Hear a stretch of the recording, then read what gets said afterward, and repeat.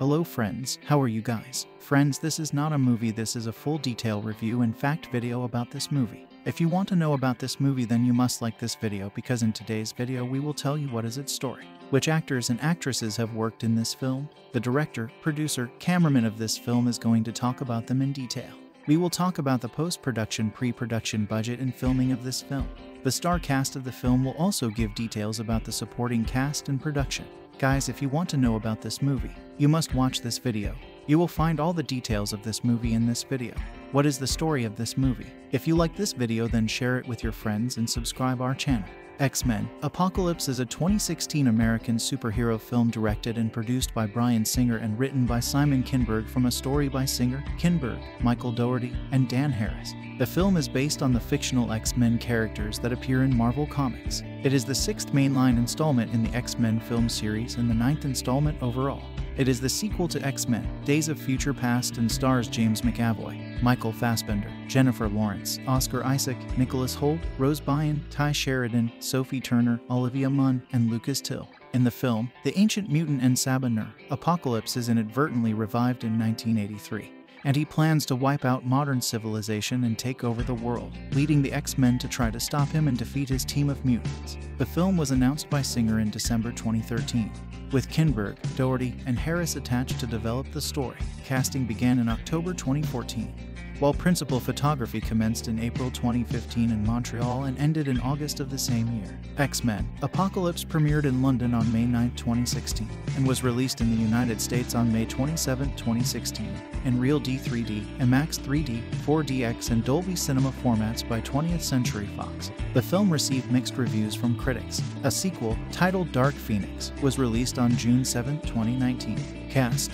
The cast of X Men Apocalypse at the 2015 San Diego Comic Con.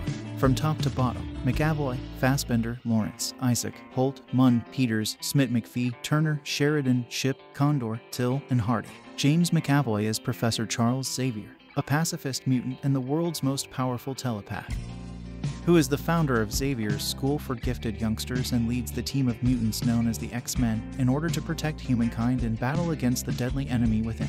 During the latter part of the film's production, McAvoy shaved his head for the role. Michael Fassbender is Eric Lehnsherr.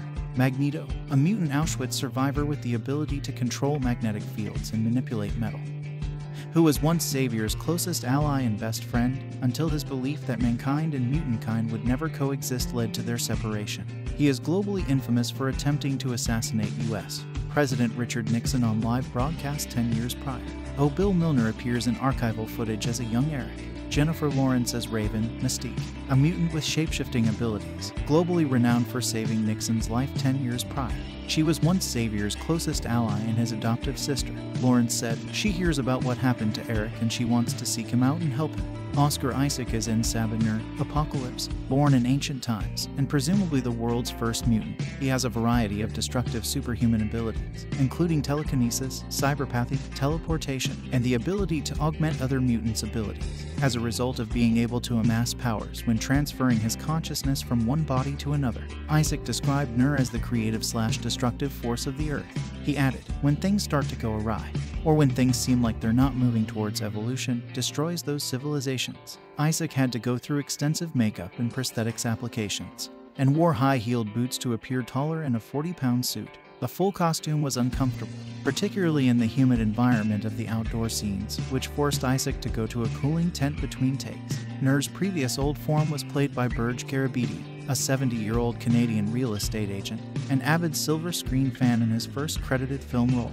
Nicholas Hoult is Hank McCoy, Beast, a mutant with leonine attributes, prehensile feet, and superhuman physical abilities. Hank acts as a teacher in Xavier's school and he builds inventions for troubled students. He also built the X-Jet. Rose Byrne is Moira MacTaggert, a CIA operative who first met and fell in love with Xavier in first class, where he wiped portions of her memories of him and the X-Men at the end. Simon Kinberg said they are essentially strangers when they meet in this film. Evan Peters is Peter Maximoff, Quicksilver, a mutant who can move, think, and perceive at hypersonic speeds, and the son of Magneto. Tye Sheridan is Scott Summers, Cyclops, a mutant who fires destructive optic beams and wears a ruby visor or sunglasses to stabilize and contain them, and who is the younger brother of Havoc. Sheridan describes Cyclops as angry and a bit lost, He added, he's now learning about being a mutant and trying to handle his powers. Sophie Turner as Jean Grey, a mutant who is scared of her telepathic and telekinetic power and one of Charles Xavier's most prized students. Turner states that she was cast in the film because of the dark side of her character Sansa Stark in Game of Thrones. She compared Jean to Sansa and described being an outcast in the human world who struggles with her power and gift, the same way Sansa, who wanted to live a normal life, felt. Turner learned archery in preparation for the role. Olivia Munn is Psylocke, a mutant with psionic abilities. Her abilities include projecting purple psychic energy, usually into the form of an energy blade that can burn through metal. Munn described Psylocke as very lethal, very powerful, and very strong. She practiced sword fighting in preparation for the role. Kodi Smit-McPhee is Kurt Wagner, Nightcrawler, a German teleporting mutant and one of Charles Xavier's new students. Singer said Nightcrawler is a source of comic relief. Alexandra Shipp is Ororo Munroe, Storm, a young mutant orphan who can control weather. Storm is discovered by Apocalypse in Cairo. Shipp partially shaved her head to sport a mohawk for the role. Lucas Till is Alex Summers, Havoc, a mutant who has the ability to absorb energy and release it with destructive force from his body, and the older brother of Cyclops. Josh Helman is Colonel William Stryker, a military officer who hates mutants and has, in the 10 years since Days of Future Past, been developing his own plans for resolving the mutant problem. Ben Hardy is Angel, a mutant with bird like feathered wings who gains metallic wings that can shoot razor sharp feather projectiles, similar to his Archangel counterpart in the comics. Hardy practiced indoor skydiving in preparation for his role. Lana Condor is Jubilee, a mutant student at Charles's school who has the ability to create sonic energy plasmoid. Discussing her first day on X Men Apocalypse, Condor says, I was very new and it was my first role. I'd never been on a set before or in front of a camera, so I didn't know what to expect. The first day we shot scenes in an 80 seconds themed mall with hundreds of extras in 80 seconds gear, plus crew and cameras. It was surreal. It's a lot easier when you have the costume, as that helps bring everything to life. She has her iconic yellow jacket, which is a staple. It's very bold and confident, like her. A lot of her costumes are super 80 seconds. I also listened to music from the 80 seconds and that helped. Additionally, Carolina Bartczak plays Magda Gursky, the wife of Eric Lehnsherr and mother of their mutant daughter Nina Gursky. Magda and Eric live happily in Poland together hidden away from the world. She and her daughter are killed when a militia comes looking for Eric after he accidentally exposes who he is while trying to save a coworker. Tomas Lemarquis portrays Caliban, a mutant with the ability to sense and track other mutants, and wrestler giant Gustav Claude Ouimet plays the Blob, Angel's opponent in an underground fight club. Monique Ganderton, Warren Scherer, Rochelle Okoye, and Fraser Aitchison play Apocalypse's prior lieutenants, Death, Pestilence, Famine, and War respectively. Zehra Leverman reprised her role as Quicksilver's mother, Ms. Maximoff. Hugh Jackman makes an uncredited appearance as Logan, Wolverine in his Weapon X form. In that same scene, director Bryan Singer cameos as a guard who is killed by Wolverine as he attempts to escape the complex. X Men co creator Stan Lee and his wife Joan Beeley make a cameo appearance together as bystanders witnessing the launch of nuclear missiles worldwide. This was Joan's last film. Journalist Jessica Savage and actors Leslie Parrish and Michael Forrest also appear in cameos. Production Development The film was announced by Bryan Singer in December 2013 via Twitter, before Days of Future Past was released to theaters. In the same month, Simon Kinberg, Dan Harris, and Michael Dougherty were revealed by Singer to be attached to work on the film's story. According to Singer, the film would focus on the origin of the mutants and feature the younger versions of Cyclops, Jean Grey, and Storm. Singer also said that he was considering Gambit and a younger version of Nightcrawler to appear. According to Kinberg, it would take place in 1983 and completes a trilogy that began with 2011's X Men First Class. In September 2014, 20th Century Fox officially announced that Singer would direct the film. Singer has called the film kind of a conclusion of six X Men films, yet a potential rebirth of younger, newer characters and the true birth of the X Men. Writing, it will address historical mutant psi, meaning the deep past, mutant origins, and things like that. It's something that's always intrigued me when we think about our gods and our history and miracles and powers. Bryan Singer on what will be seen in X Men Apocalypse. Singer said that Apocalypse is the main focus of the film. Kinberg said that the younger versions of Scott Summers, Storm, and Jean Grey appearing in the film are as much a part of the film as the main cast. He described Summers as not yet the squeaky clean leader, Storm as a troubled character who is going down the wrong path in life, and Grey as complex, interesting, and not fully mature. Kinberg also said that the film delivers on the dramatic story and emotion of the last two films and that it acts like the culmination of the main characters portrayed by Lawrence, McAvoy, Fassbender, and Hoult. Kinberg said First Class, Days of Future Past, and Apocalypse formed a trilogy about Mystique, explaining, She starts in first class entirely on Charles' side, ends up following Eric, and we then find her in Days of Future Past and she's on her own because Eric is gone. She's on her own side in that movie but is drawn toward Charles by the end of the film and shoots Eric. Then in Apocalypse, she comes back to Charles. There's a full circle narrative over the span of this little trilogy that is about Mystique from beginning with Charles in the mansion and ending with Charles in the mansion, but not as the same timid little girl we met in first class. Kinberg was paid $8 million for writing the script, the same amount he received for X Men Days of Future Past. The plot was partially inspired by the 1988 X Men story arc The Fall of the Mutants. Casting In October 2014, casting for X Men Apocalypse began. In November, Singer confirmed that Oscar Isaac would portray Apocalypse. In January 2015, Singer announced that Alexandra Shipp, Sophie Turner, and Tye Sheridan would portray young Storm, Jean, and Cyclops, respectively. Grace Fulton, who would go to play Mary Bromfield in the DC Extended Universe Shazam films, originally auditioned to play Jean Grey, but lost out to Turner. The same month, Kinberg confirmed that Rose Byrne would reprise her first class role as Moira MacTaggert in the film. In February, Kodi Smit-McPhee was cast as Nightcrawler and Ben Hardy was cast in an unspecified role. In March, Singer announced that Lana Condor was cast as Jubilation Lee. In April, Singer confirmed that Hardy would portray Angel, Olivia Munn would portray Psylocke, and Lucas Till would return as Havok. In May, Singer announced that the mutant Caliban would appear in the film. In July, Hoult revealed on Conan that Josh Helman would return as William Stryker. In April 2016, Hugh Jackman confirmed that he would make a cameo appearance as Logan, Wolverine. Filming, principal photography commenced on April 27, 2015, in Montreal, Canada. In late August, the first unit production for the film wrapped. Additional filming took place in January 2016. Australia based Rising Sun Pictures provided, as it did for X Men Days of Future Past, the effects for Quicksilver's time stopping, quick motion effects in the mansion rescue scene, and also other effects, including when Cyclops splits Professor Xavier's favorite tree in half. Aerial footage of snow capped mountains as Stryker traveled in his helicopter to the secret base was provided by Smart Drones of St. Albert, Alberta, Canada. Singer had at one point left the production for 10 days, forcing screenwriter Simon Kinberg to fill in as director. Singer claimed he had a thyroid issue and had to be treated in live. Music. Main article X Men Apocalypse on March 2, 2015. It was announced that John Ottman, who composed the scores for X2 and X Men Days of Future Past, would return to write and compose the score for Apocalypse on May 20, 2016. The official soundtrack was released as a digital download. In addition to Ottman's score, the film features a remix of the second movement of Ludwig van Beethoven's Seventh Symphony entitled Beethoven Havoc and two songs contemporary to the film's 1983 setting Sweet Dreams by Eurythmics and The Four Horsemen by Metallica. Visual effects. The visual effects are provided by Moving Picture Company and Hydraulx and supervised by Anders Langlands and Colin Strause with help from Digital Domain, Cinesite, and Rising Sun Pictures. Marketing. In July 2015, singer Lee Hugh Jackman and cast members McAvoy, Fassbender, Lawrence, Isaac, Hoult, Munn, Peters, Smit-McPhee, Turner, Sheridan, Shipp, Condor, Till, and Hardy gave a presentation at the 2015 San Diego Comic Con International, together with the release of the film's first teaser poster featuring En Sabah Nur and a wreckage of the X Mansion.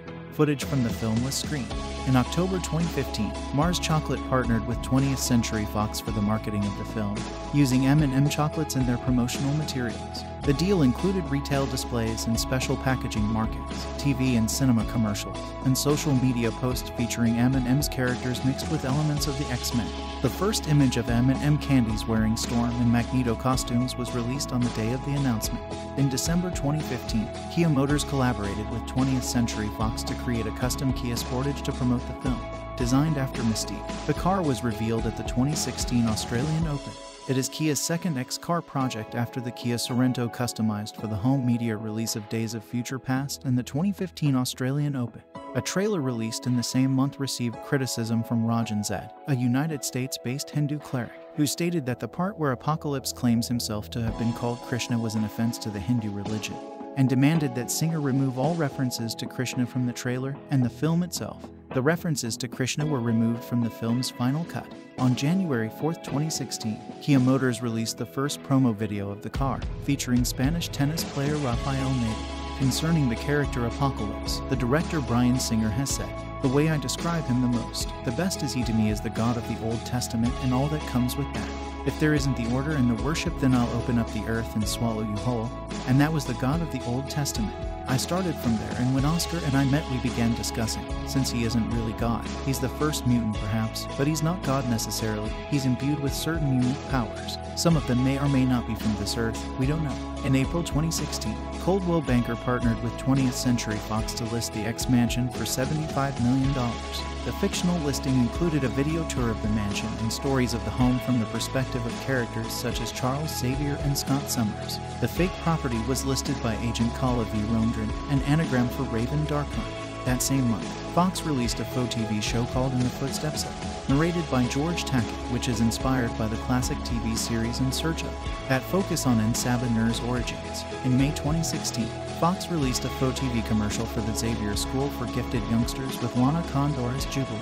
They also released a video voiced mail message a week later in a faux TV show called Fables of the Flush and Fabulous with Robin Leach, which is inspired by Leach's show Lifestyles of the Rich and Famous. Billboard controversy. Billboards in Los Angeles and New York City promoting the film garnered controversy for showing an image of apocalypse choking Mystique, with critics saying the ad advocates violence against women. Among those opposed to the material was actress Rose McGowan, who told The Hollywood Reporter there is a major problem when the men and women at 20th Century Fox think casual violence against women is the way to market a film. There is no context in the ad, just a woman getting strangled. The fact that no one flagged this is offensive and frankly, stupid. In apologizing for the billboard, Fox said it intended to remove the image from circulation. Release X Men Apocalypse had its world premiere in London on May 9, 2016. The film was released in 20,796 screens across 76 international markets on May 18, 2016, one week before its North American debut. Apocalypse was issued triple 3D, 4DX, and 2D formats, and in IMAX 3D in select international markets using the DMR process. It opened in Korea on May 25th and in China on June 3rd. It was released in Japan on August 11.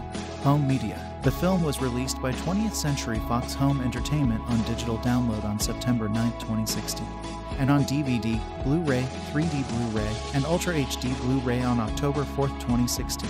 The film topped the national home video sales charts for the week ending on October 9, 2016. X Men Apocalypse was released on the Walt Disney Company's streaming service Disney Plus on July 17, 2020. Reception Box Office X Men Apocalypse grossed $155.4 million in the US and Canada and $388.5 million in other territories, for a worldwide total of $543.9 million against a budget of $178 million. The film is the fourth highest grossing film in the X Men series, behind Deadpool, Logan, and X Men Days of Future Past. It made 27% less than Days of Future Past. X Men Apocalypse opened in the United States on May 27, 2016, alongside Alice Through the Looking Glass and was projected to gross around $80 million from 4,150 theaters in its opening weekend, and up to $100 million over the four day Memorial Day weekend.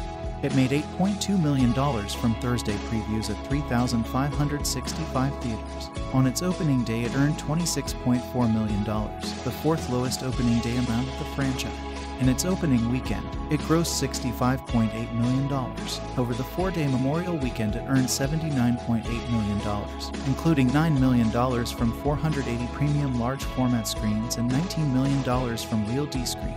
In its second weekend, the film grossed $22.3 million, finishing second at the box office behind Teenage Mutant Ninja Turtles Out of the Shadows. Elsewhere, X Men Apocalypse was released one week before the United States in 76 markets and grossed $101.5 million from 20,796 screens over the May 18th weekend. It debuted at number one in 71 of those markets, with IMAX contributing $5 million from 246 screens in 57 markets, while Real D took in $18.4 million.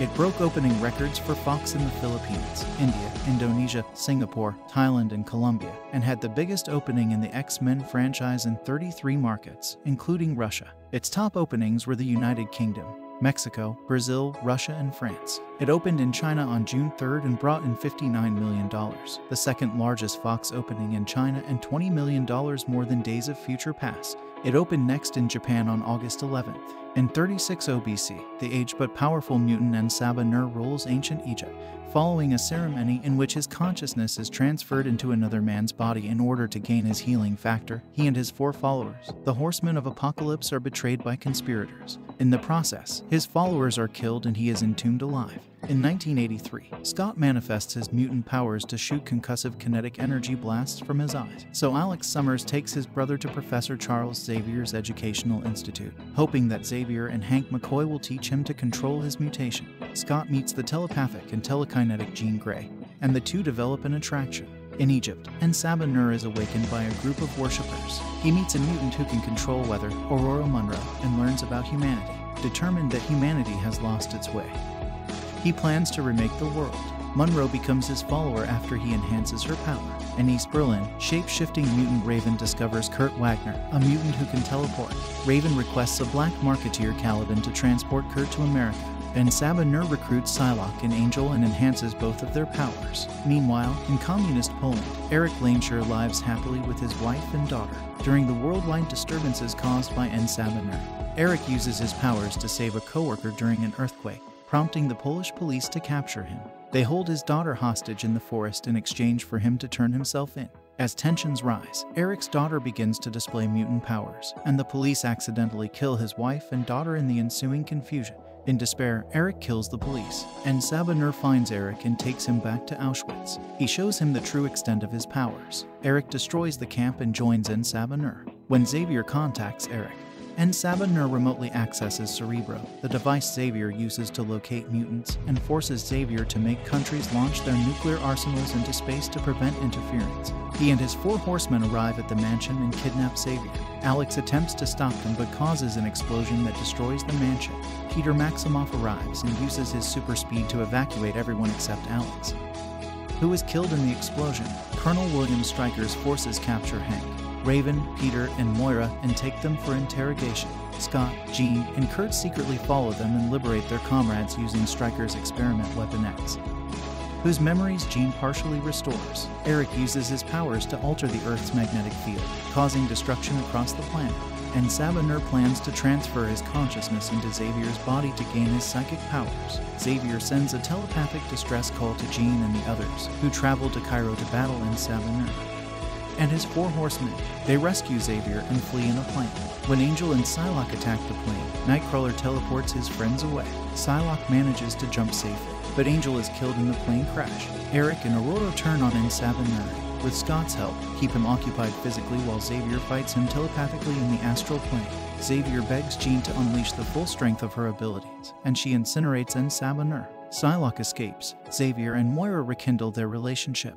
Eric and Jean help reconstruct the school, but Eric turns down Xavier's offer to stay and help teach. Peter decides not to tell Eric yet that he is Eric's son. Using confiscated sentinels, Hank and Raven train the new X Men recruits Scott, Jean, Aurora, Kurt, and Peter. In a post credit scene, men in black suits visit the Weapon X facility to retrieve an X ray and a blood sample marked Weapon X on behalf of the Essex Corporation. The superhero genre has gone through dramatic changes since Bryan Singer directed X Men in 2000 and now finds itself in a precarious place. The city level destruction that characterizes so many third acts has become visually rote and morally abhorrent. And how many more movies can we handle about white men given great power who churn out jokes and punches with equal aplomb? The genre desperately needs to diversify not just in terms of race and gender, but also the kinds of stories on which filmmakers choose to focus. X Men Apocalypse should be a corrective measure, considering its ensemble allows for the opportunity to focus on popular female and people of color characters. Instead, it magnifies all the worst issues of the genre, serving up a story that would have felt dated five years ago. Advertisement X Men Apocalypse is a confused, bloated mess of a film. There are several films crammed into one all battling for the spotlight, and none of them wholly work. There is really no central storyline or heart to the film. The first hour is almost entirely in service of setting up new players and establishing what the veterans are up to. Charles Xavier, Professor X is successfully running his school for mutant kids. Raven Darkholme, Mystique is rescuing mutants, including the walking punchline Nightcrawler on her own, and struggling with being seen as a hero. Then there are the teenage Scott Summers, Cyclops and Jean Grey who are struggling to cope with their powers and fledgling attraction to each other. Sheridan and Turner seem to actually be enjoying themselves, but their development staggers under the weight of everything else going on around them. Jean grappling with the dark side of her abilities is especially fertile ground. One of the few evocative scenes involves her having a nightmare which rocks the school and burns the walls of her room before Xavier comforts her. Even though she gets a big hero moment at the end, it doesn't land well given how poorly she's developed. Singer doesn't offer the scant interesting moments enough room to breathe. He's too interested in hurtling to the next plot point, the next introduction, the next fight scene. Advertisement. The greatest sin of X Men, Apocalypse by far is how terribly it wastes some of the greatest modern actors. Michael Fassbender can't give Magneto's storyline the emotional depth it needs. But could any actor distract from how that storyline embodies the most onerous cliche in regards to the treatment of women in comics? How many more wives and daughters will be killed in these kinds of films in order to give a male lead some eggs? As the movie's world destroying, godlike mutant, Oscar Isaac struggles to make Apocalypse even the least bit menacing. How can an actor as charismatic and dynamic as Isaac feel so torpid here? The failure to make Apocalypse engaging is mostly the fault of Simon Kinberg's script. He's operatic. World destroying villains don't seem to work on screen as they do in comics. Their motivations are, at best, confusing and nonsensical. They seem so disconnected from the world the heroes move through that they almost exist in entirely different films. Perhaps X Men Apocalypse also exhibits the worst traits of these sort of stories in the comics, which can be damningly inert, nihilistic, and overcrowded on their own before even being adapted for the screen. Despite Apocalypse's backstory and grandstanding, he spends more time imbuing his four horsemen with power than wielding his own. Advertisement The rest of Apocalypse's team are the smug yet forgettable Angel, Psylocke, and a young Storm. None of these characters are all that interesting, but Psylocke and Storm embody the ways this entire series has failed its female characters. Psylocke is such a one-dimensional villain she seems two steps away from twirling a mustache. Singer and Kinberg are seemingly incapable of developing more than one female character at a time. There's also something deeply troubling about a series that trades in the language and ideas of the civil rights movement without caring one iota about its characters of color. Storm is once again given very little to do. She has none of the emotional interiority, swagger, or complexity of her comic counterpart. Jubilee is such a non factor she could be taken out entirely and nothing would change. Raven and Jean are slightly better served, but Jean's development is too inconsistent to leave much of an impact.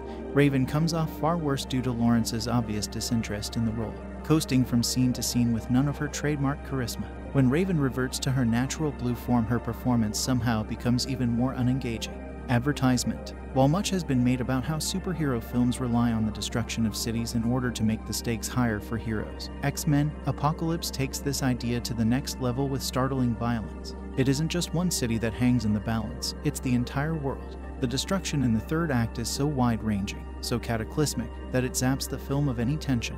There is no sense of danger here only the distinct feeling that nearly everyone involved is counting down the minutes until this whole affair is over. There is one scene involving the surprisingly fun Quicksilver that gives X Men Apocalypse one of its only visually interesting moments. He uses his super speed to traverse through Xavier's school, saving people from an explosion, as set to Sweet Dreams by the Eurythmics, a confounding music choice, to say the least. Singer finds some physical humor and levity in Quicksilver's ingenious ways of saving everyone. Advertisement. But it's the only scene in a film almost 150 minutes long that gets close to evoking the bright color, zany nature the comics can delve into at their best. It isn't enough to save what proves to be an emotionally empty and morally confused film. X Men Apocalypse isn't just the low point in Singer's series, it represents one of the ugliest superhero films in recent memory. If you've seen one cinematic apocalypse, you've seen them all. At least that's the feeling conjured by X Men Apocalypse, the latest entry in one of the more reliable comic book franchises around, this time disappointingly succumbing to an exhausting case of been there done that itis. Director Bryan Singer pioneered the contemporary wave of superhero movies with 2000 Seconds X Men, and made a welcome return to the series just two years ago with the time jumping Days of Future Past. Perhaps he should have quit while he was ahead, even though Apocalypse hardly reps the franchise nadir. This is easily the least compelling, surprising, and satisfying of Singer's entries. While the best X Men movies are defined by their keen intelligence, casual wit, and deep reserves of emotion, Apocalypse serves those virtues up in minimal doses, settling for an extravagant display of visual effects that would have scarcely been possible 16 years ago. That should be enough to secure robust box office overseas, but domestic results could fall notably short of Future Past sterling $234 million gross. The wild card in audience acceptance for this latest outing is the lack of fan favorite character Wolverine.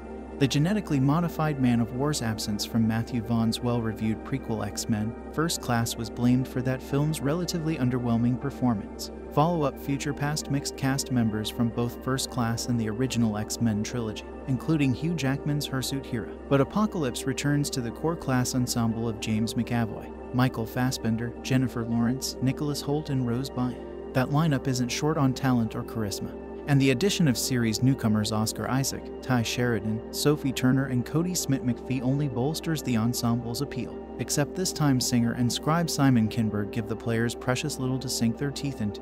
From the opening prologue, set in the Nile Valley circa 36 BC, it's clear that Singer aims to take audiences on an eye popping roller coaster ride, though in doing so, he leaves behind any pretense of coherent storytelling or character development as an aging apocalypse prepares to transfer into a younger body with the help of four devoted minions. The character narrowly pulls it off, as the massive pyramid he had constructed crumbles spectacularly around him, killing his followers and entombing him for the next several thousand years. The film skips ahead to an Ohio high school classroom in 1983, where life is literally a blur for young Scott Summers. His vision is starting to go, and after a rage fueled encounter with a class bully unleashes a powerful laser beam from his peepers, Scott is whisked away to Professor Xavier's school for gifted kids by Big Brother Alex. That's where McCoy takes Scott under his wing.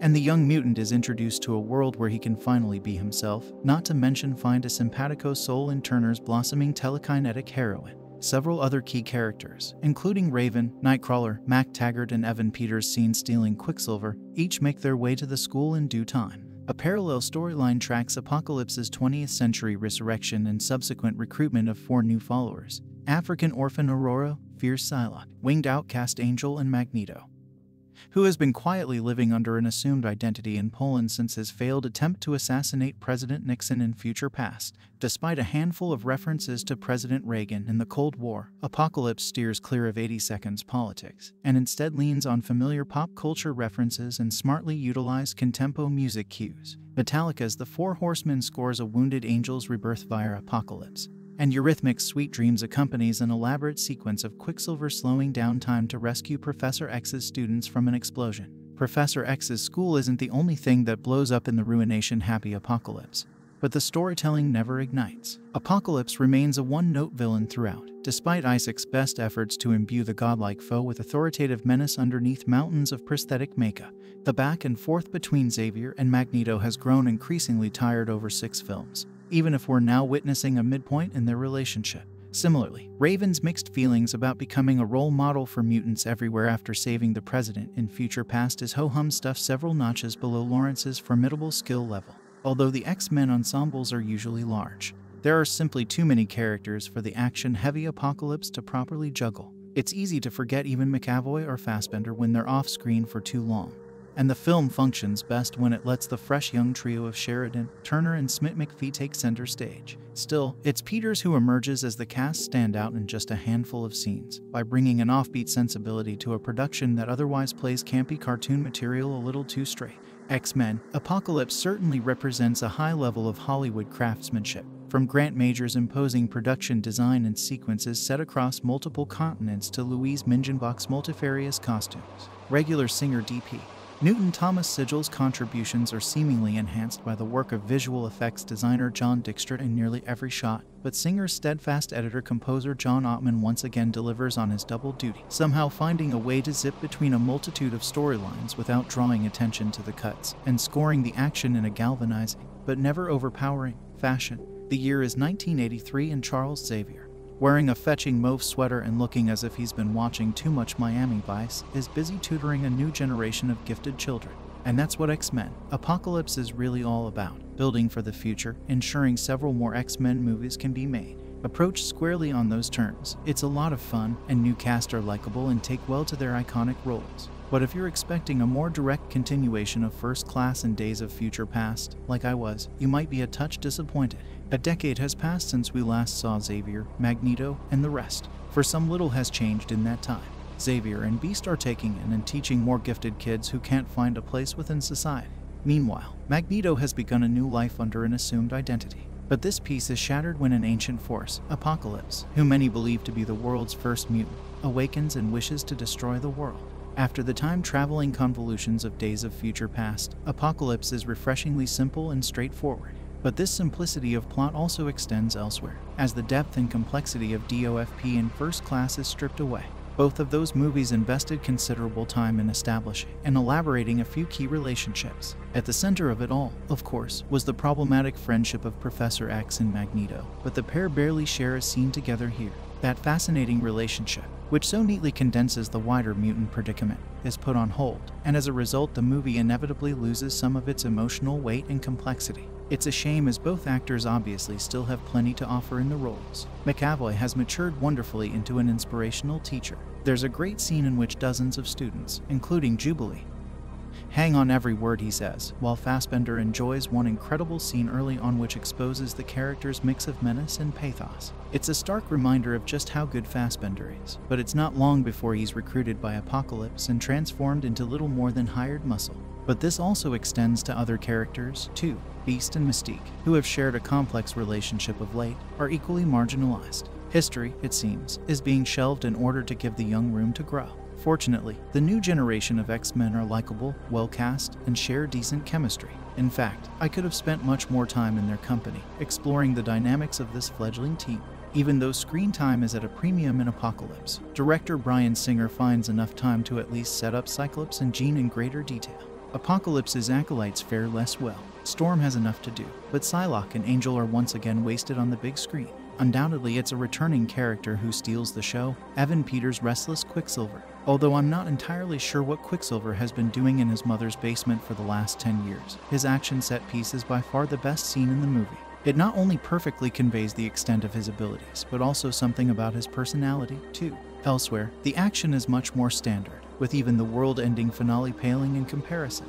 This has something to do with the choice of villain. Apocalypse has great potential as an antagonist. Unfortunately, the movie uses him more as a catalyst, as a means of bringing back establishing characters from their new lives, as well as fortifying the next generation of gifted mutants. He fails to develop into a meaningful antagonist in his own right. Oscar Isaac is perfectly fine as the ancient mutant, capable of delivering a series of ominous speeches. But for a character heralding the end of the world, he carries surprisingly little menace. Maybe it's because most of his screen time is spent recruiting his four horsemen and overseeing their fabulous makeovers. He speaks at length about despising the superpowers, about how humanity has erected false gods, but there's little talk about the world he wants to create. I get that Apocalypse wants the world to end, but I'm not entirely sure what he wants to do with it. Or maybe it's because the Armageddon he eventually unleashes feels so impersonal. You see capital cities being leveled. Millions are surely killed in New York and Sydney as you see them crumble, but it feels empty, observed from a distance. There's a lot of destruction in Apocalypse, but very little consequence or tragedy. At times, it almost feels like the X Men are battling away in isolation rather than saving the world. Apocalypse also feels disconnected from the time in which it is set. Recent X Men movies have done a fantastic job of subsuming historical events into their plots, including the Cuban Missile Crisis and the Vietnam War, so it's a real shame Apocalypse doesn't take more advantage of its vibrant 1980s setting. Mullets and leggings, and a couple of songs aside, this story could have played out in any era. X Men Apocalypse is a 2016 American superhero film directed and produced by Bryan Singer and written by Simon Kinberg from a story by Singer, Kinberg, Michael Dougherty, and Dan Harris. The film is based on the fictional X Men characters that appear in Marvel Comics. It is the sixth mainline installment in the X Men film series and the ninth installment overall. It is the sequel to X Men Days of Future Past and stars James McAvoy, Michael Fassbender, Jennifer Lawrence, Oscar Isaac, Nicholas Hoult, Rose Byrne, Tye Sheridan, Sophie Turner, Olivia Munn, and Lucas Till. In the film, the ancient mutant En Sabah Nur, Apocalypse is inadvertently revived in 1983, and he plans to wipe out modern civilization and take over the world, leading the X-Men to try to stop him and defeat his team of mutants. The film was announced by Singer in December 2013, with Kinberg, Dougherty, and Harris attached to develop the story. Casting began in October 2014 while principal photography commenced in April 2015 in Montreal and ended in August of the same year. X Men Apocalypse premiered in London on May 9, 2016, and was released in the United States on May 27, 2016, in Real D 3D, IMAX 3D, 4DX, and Dolby Cinema formats by 20th Century Fox. The film received mixed reviews from critics. A sequel, titled Dark Phoenix, was released on June 7, 2019. Cast The cast of X Men Apocalypse at the 2015 San Diego Comic Con. From top to bottom, McAvoy, Fassbender, Lawrence, Isaac, Hoult, Munn, Peters, Smit-McPhee, Turner, Sheridan, Shipp, Condor, Till, and Hardy. James McAvoy is Professor Charles Xavier, a pacifist mutant and the world's most powerful telepath, who is the founder of Xavier's School for Gifted Youngsters and leads the team of mutants known as the X Men in order to protect humankind and battle against the deadly enemy within. During the latter part of the film's production, McAvoy shaved his head for the role. Michael Fassbender as Eric Lehnsherr. Magneto, a mutant Auschwitz survivor with the ability to control magnetic fields and manipulate metal. Who was once Xavier's closest ally and best friend, until his belief that mankind and mutant kind would never coexist led to their separation. He is globally infamous for attempting to assassinate U.S. President Richard Nixon on live broadcast 10 years prior. Oh, Bill Milner appears in archival footage as a young Eric. Jennifer Lawrence as Raven, Mystique, a mutant with shapeshifting abilities, globally renowned for saving Nixon's life 10 years prior. She was once Xavier's closest ally and his adoptive sister. Lawrence said, She hears about what happened to Eric and she wants to seek him out and help him. Oscar Isaac is En-Sabah Apocalypse, born in ancient times, and presumably the world's first mutant. He has a variety of destructive superhuman abilities, including telekinesis, cyberpathy, teleportation, and the ability to augment other mutants' abilities, as a result of being able to amass powers when transferring his consciousness from one body to another. Isaac described Nur as the creative slash destructive force of the earth. He added, When things start to go awry, or when things seem like they're not moving towards evolution, destroys those civilizations. Isaac had to go through extensive makeup and prosthetics applications, and wore high heeled boots to appear taller in a 40 pound suit. The full costume was uncomfortable, particularly in the humid environment of the outdoor scenes, which forced Isaac to go to a cooling tent between takes. Nur's previous old form was played by Berge Garabedian, a 70 year old Canadian real estate agent, an avid silver screen fan in his first credited film role. Nicholas Hoult is Hank McCoy, Beast, a mutant with leonine attributes, prehensile feet, and superhuman physical abilities. Hank acts as a teacher in Xavier's school and he builds inventions for troubled students. He also built the X-Jet. Rose Byrne is Moira MacTaggert, a CIA operative who first met and fell in love with Xavier in first class, where he wiped portions of her memories of him and the X-Men at the end. Simon Kinberg said they are essentially strangers when they meet in this film. Evan Peters is Peter Maximoff, Quicksilver, a mutant who can move, think, and perceive at hypersonic speeds, and the son of Magneto. Tye Sheridan is Scott Summers, Cyclops, a mutant who fires destructive optic beams and wears a ruby visor or sunglasses to stabilize and contain them, and who is the younger brother of Havoc. Sheridan describes Cyclops as angry and a bit lost. He added, he's now learning about being a mutant and trying to handle his powers. Sophie Turner is Jean Grey, a mutant who is scared of her telepathic and telekinetic power, and one of Charles Xavier's most prized students. Turner states that she was cast in the film because of the dark side of her character Sansa Stark in Game of Thrones. She compared Jean to Sansa and described being an outcast in the human world who struggles with her power and gift, the same way Sansa, who wanted to live a normal life, felt. Turner learned archery in preparation for the role. Olivia Munn is Psylocke, a mutant with psionic abilities. Her abilities include projecting purple psychic energy, usually into the form of an energy blade that can burn through metal. Munn described Psylocke as very lethal, very powerful, and very strong. She practiced sword fighting in preparation for the role. Kodi Smit-McPhee is Kurt Wagner, Nightcrawler, a German teleporting mutant and one of Charles Xavier's new students. Singer said Nightcrawler is a source of comic relief.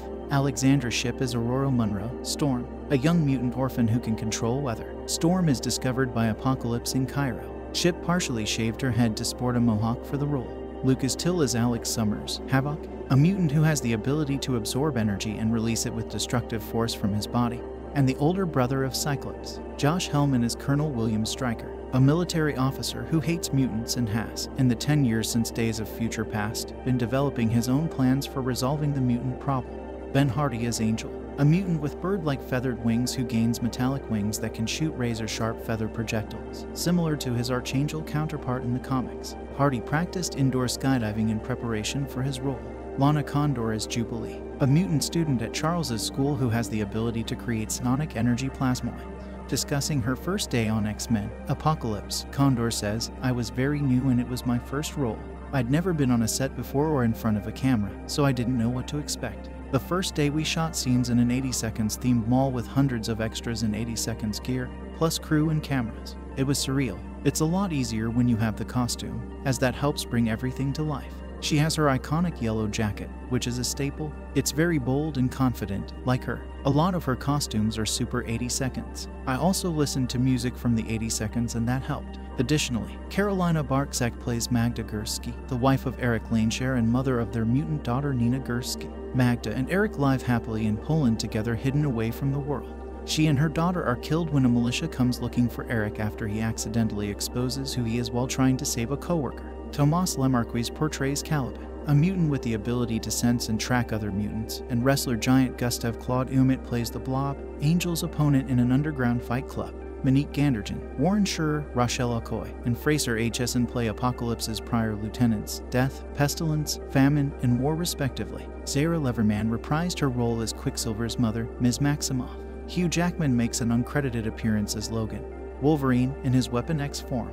In that same scene, director Bryan Singer cameos as a guard who is killed by Wolverine as he attempts to escape the complex. X Men co creator Stan Lee and his wife Joan B. Lee make a cameo appearance together as bystanders witnessing the launch of nuclear missiles worldwide. This was Joan's last film. Journalist Jessica Savage and actors Leslie Parrish and Michael Forest also appear in cameos. Production Development The film was announced by Bryan Singer in December 2013 via Twitter, before Days of Future Past was released to theaters. In the same month, Simon Kinberg, Dan Harris, and Michael Dougherty were revealed by Singer to be attached to work on the film's story. According to Singer, the film would focus on the origin of the mutants and feature the younger versions of Cyclops, Jean Grey, and Storm. Singer also said that he was considering Gambit and a younger version of Nightcrawler to appear. According to Kinberg, it would take place in 1983 and completes a trilogy that began with 2011's X Men First Class. In September 2014, 20th Century Fox officially announced that Singer would direct the film.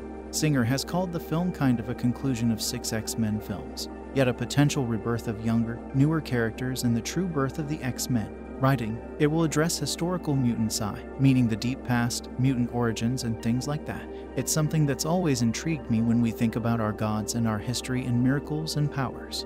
Bryan Singer on what will be seen in X Men Apocalypse. Singer said that Apocalypse is the main focus of the film. Kinberg said that the younger versions of Scott Summers, Storm, and Jean Grey appearing in the film are as much a part of the film as the main cast. He described Summers as not yet the squeaky clean leader, Storm as a troubled character who is going down the wrong path in life, and Grey as complex, interesting, and not fully mature. Kinberg also said that the film delivers on the dramatic story and emotion of the last two films and that it acts like the culmination of the main characters portrayed by Lawrence, McAvoy, Fassbender, and Hoult. Kinberg said First Class, Days of Future Past, and Apocalypse formed a trilogy about Mystique, explaining. She starts in First Class entirely on Charles' side, ends up following Eric, and we then find her in Days of Future Past and she's on her own because Eric is gone. She's on her own side in that movie but is drawn toward Charles by the end of the film and shoots Eric. Then in Apocalypse, she comes back to Charles. There's a full circle narrative over the span of this little trilogy that is about Mystique from beginning with Charles in the mansion and ending with Charles in the mansion,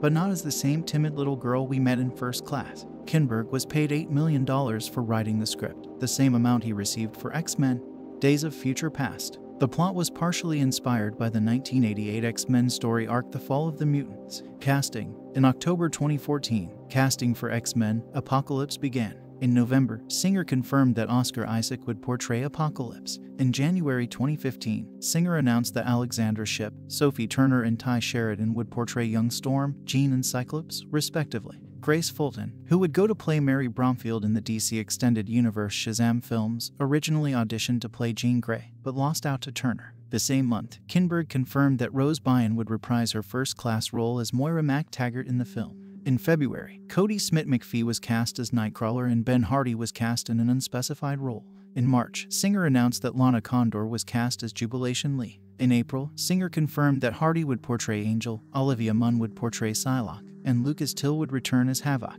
In May, Singer announced that the mutant Caliban would appear in the film. In July, Hoult revealed on Conan that Josh Helman would return as William Stryker. In April 2016, Hugh Jackman confirmed that he would make a cameo appearance as Logan, Wolverine. Filming, principal photography commenced on April 27, 2015, in Montreal, Canada. In late August, the first unit production for the film wrapped. Additional filming took place in January 2016. Australia based Rising Sun Pictures provided, as it did for X Men Days of Future Past, the effects for Quicksilver's time stopping, quick motion effects in the mansion rescue scene, and also other effects, including when Cyclops splits Professor Xavier's favorite tree in half.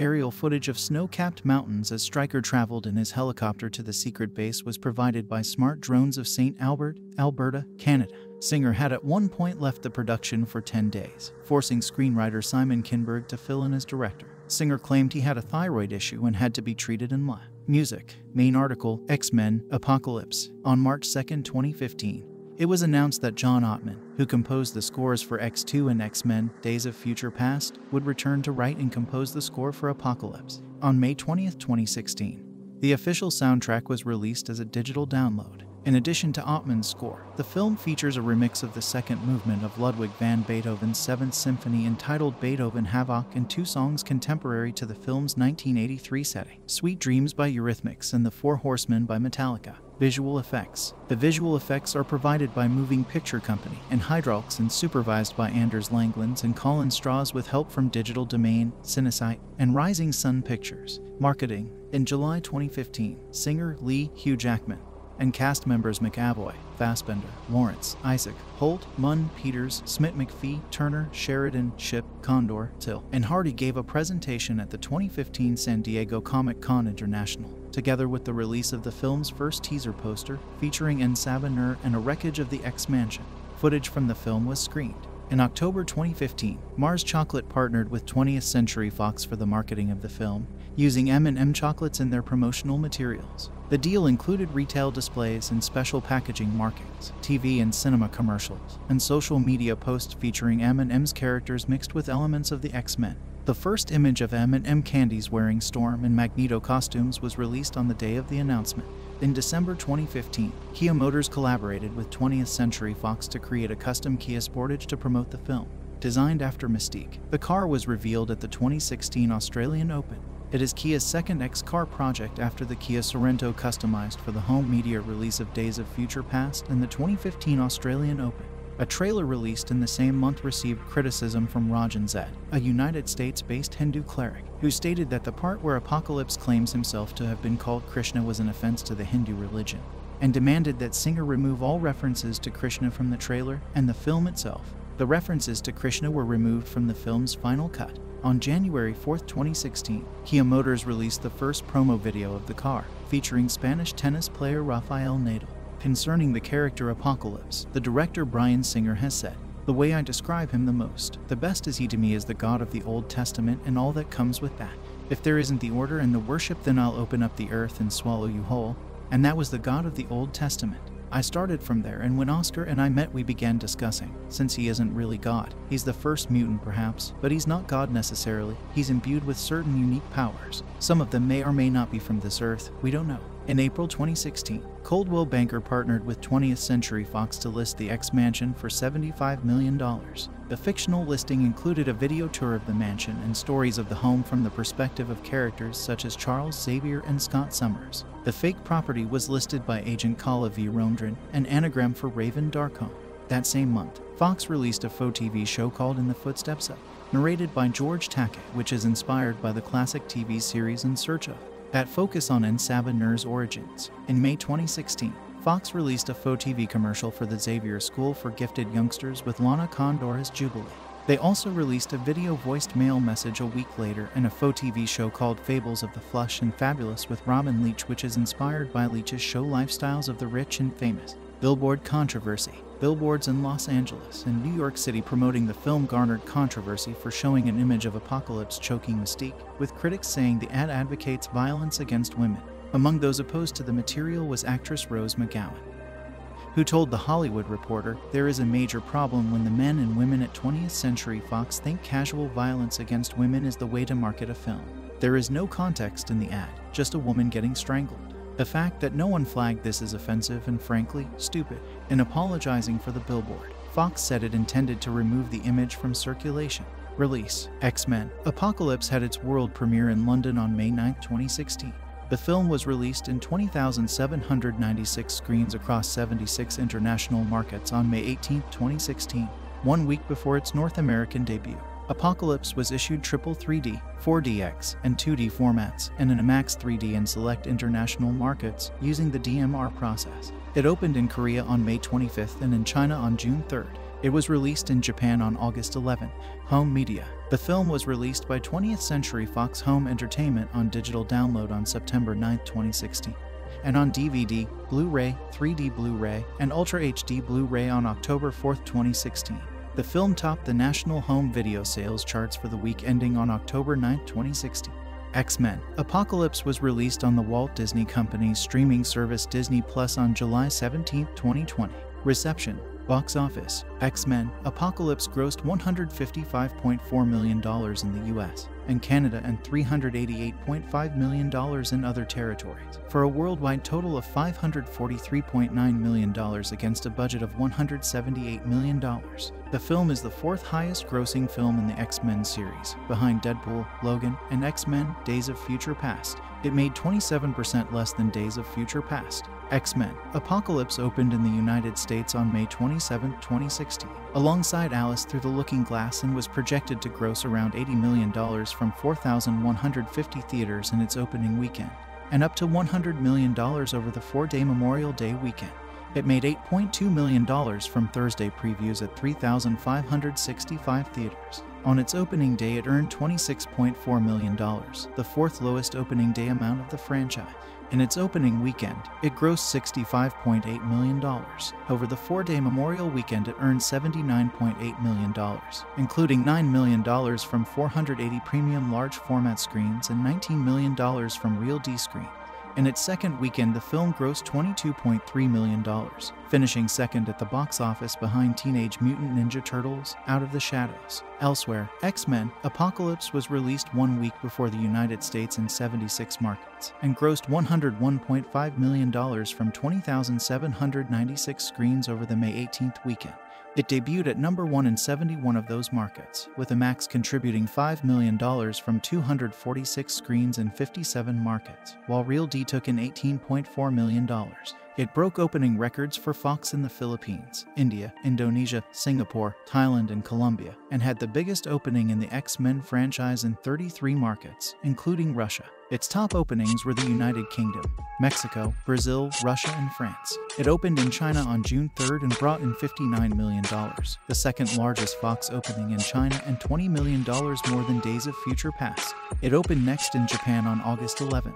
In 36 OBC, the aged but powerful mutant En Sabah Nur rules ancient Egypt, following a ceremony in which his consciousness is transferred into another man's body in order to gain his healing factor. He and his four followers, the Horsemen of Apocalypse, are betrayed by conspirators. In the process, his followers are killed and he is entombed alive. In 1983, Scott manifests his mutant powers to shoot concussive kinetic energy blasts from his eyes. So Alex Summers takes his brother to Professor Charles Xavier's Educational Institute, hoping that Xavier and Hank McCoy will teach him to control his mutation. Scott meets the telepathic and telekinetic Jean Grey, and the two develop an attraction.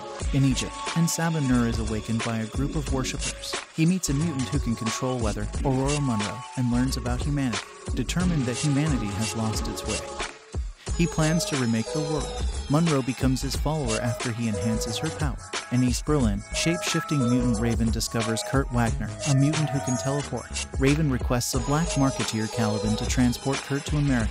En Sabah Nur recruits Psylocke and Angel and enhances both of their powers. Meanwhile, in communist Poland, Eric Lehnsherr lives happily with his wife and daughter during the worldwide disturbances caused by Nur. Eric uses his powers to save a coworker during an earthquake, prompting the Polish police to capture him. They hold his daughter hostage in the forest in exchange for him to turn himself in. As tensions rise, Eric's daughter begins to display mutant powers, and the police accidentally kill his wife and daughter in the ensuing confusion. In despair, Eric kills the police, and Sabah Nur finds Eric and takes him back to Auschwitz. He shows him the true extent of his powers. Eric destroys the camp and joins En Sabah Nur. When Xavier contacts Eric, and Sabah Nur remotely accesses Cerebro, the device Xavier uses to locate mutants, and forces Xavier to make countries launch their nuclear arsenals into space to prevent interference. He and his four horsemen arrive at the mansion and kidnap Xavier. Alex attempts to stop them but causes an explosion that destroys the mansion. Peter Maximoff arrives and uses his super speed to evacuate everyone except Alex, who is killed in the explosion. Colonel William Stryker's forces capture Hank, Raven, Peter, and Moira and take them for interrogation. Scott, Jean, and Kurt secretly follow them and liberate their comrades using Stryker's experiment Weapon X, whose memories Jean partially restores. Eric uses his powers to alter the Earth's magnetic field, causing destruction across the planet, and Sabah Nur plans to transfer his consciousness into Xavier's body to gain his psychic powers. Xavier sends a telepathic distress call to Jean and the others, who travel to Cairo to battle En Sabah Nur and his four horsemen. They rescue Xavier and flee in a plane. When Angel and Psylocke attack the plane, Nightcrawler teleports his friends away. Psylocke manages to jump safely, but Angel is killed in the plane crash. Eric and Ororo turn on En Sabah Nur. With Scott's help, keep him occupied physically while Xavier fights him telepathically in the astral plane. Xavier begs Jean to unleash the full strength of her abilities, and she incinerates En Sabah Nur. Psylocke escapes. Xavier and Moira rekindle their relationship. Eric and Jean help reconstruct the school, but Eric turns down Xavier's offer to stay and help teach. Peter decides not to tell Eric yet that he is Eric's son. Using confiscated sentinels, Hank and Raven train the new X-Men recruits, Scott, Jean, Ororo, Kurt, and Peter. In a post-credit scene, men in black suits visit the Weapon X facility to retrieve an X-ray and a blood sample marked Weapon X. On behalf of the Essex Corporation, the superhero genre has gone through dramatic changes since Bryan Singer directed X-Men in 2000, and now finds itself in a precarious place. The city-level destruction that characterizes so many third has become visually rote and morally abhorrent. And how many more movies can we handle about white men given great power who churn out jokes and punches with equal aplomb? The genre desperately needs to diversify not just in terms of race and gender, but also the kinds of stories on which filmmakers choose to focus. X Men Apocalypse should be a corrective measure, considering its ensemble allows for the opportunity to focus on popular female and people of color characters. Instead, it magnifies all the worst issues of the genre, serving up a story that would have felt dated five years ago. Advertisement X Men Apocalypse is a confused, bloated mess of a film. There are several films crammed into one, all battling for the spotlight, and none of them wholly work. There is really no central storyline or heart to the film. The first hour is almost entirely in service of setting up new players and establishing what the veterans are up to. Charles Xavier, Professor X is successfully running his school for mutant kids. Raven Darkholme, Mystique is rescuing mutants, including the walking punchline Nightcrawler on her own, and struggling with being seen as a hero.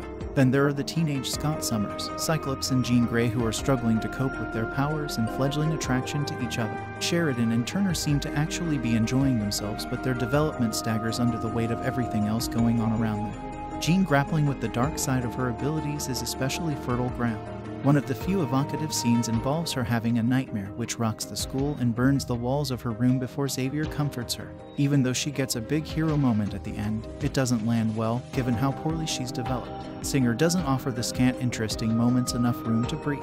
He's too interested in hurtling to the next plot point, the next introduction, the next fight scene.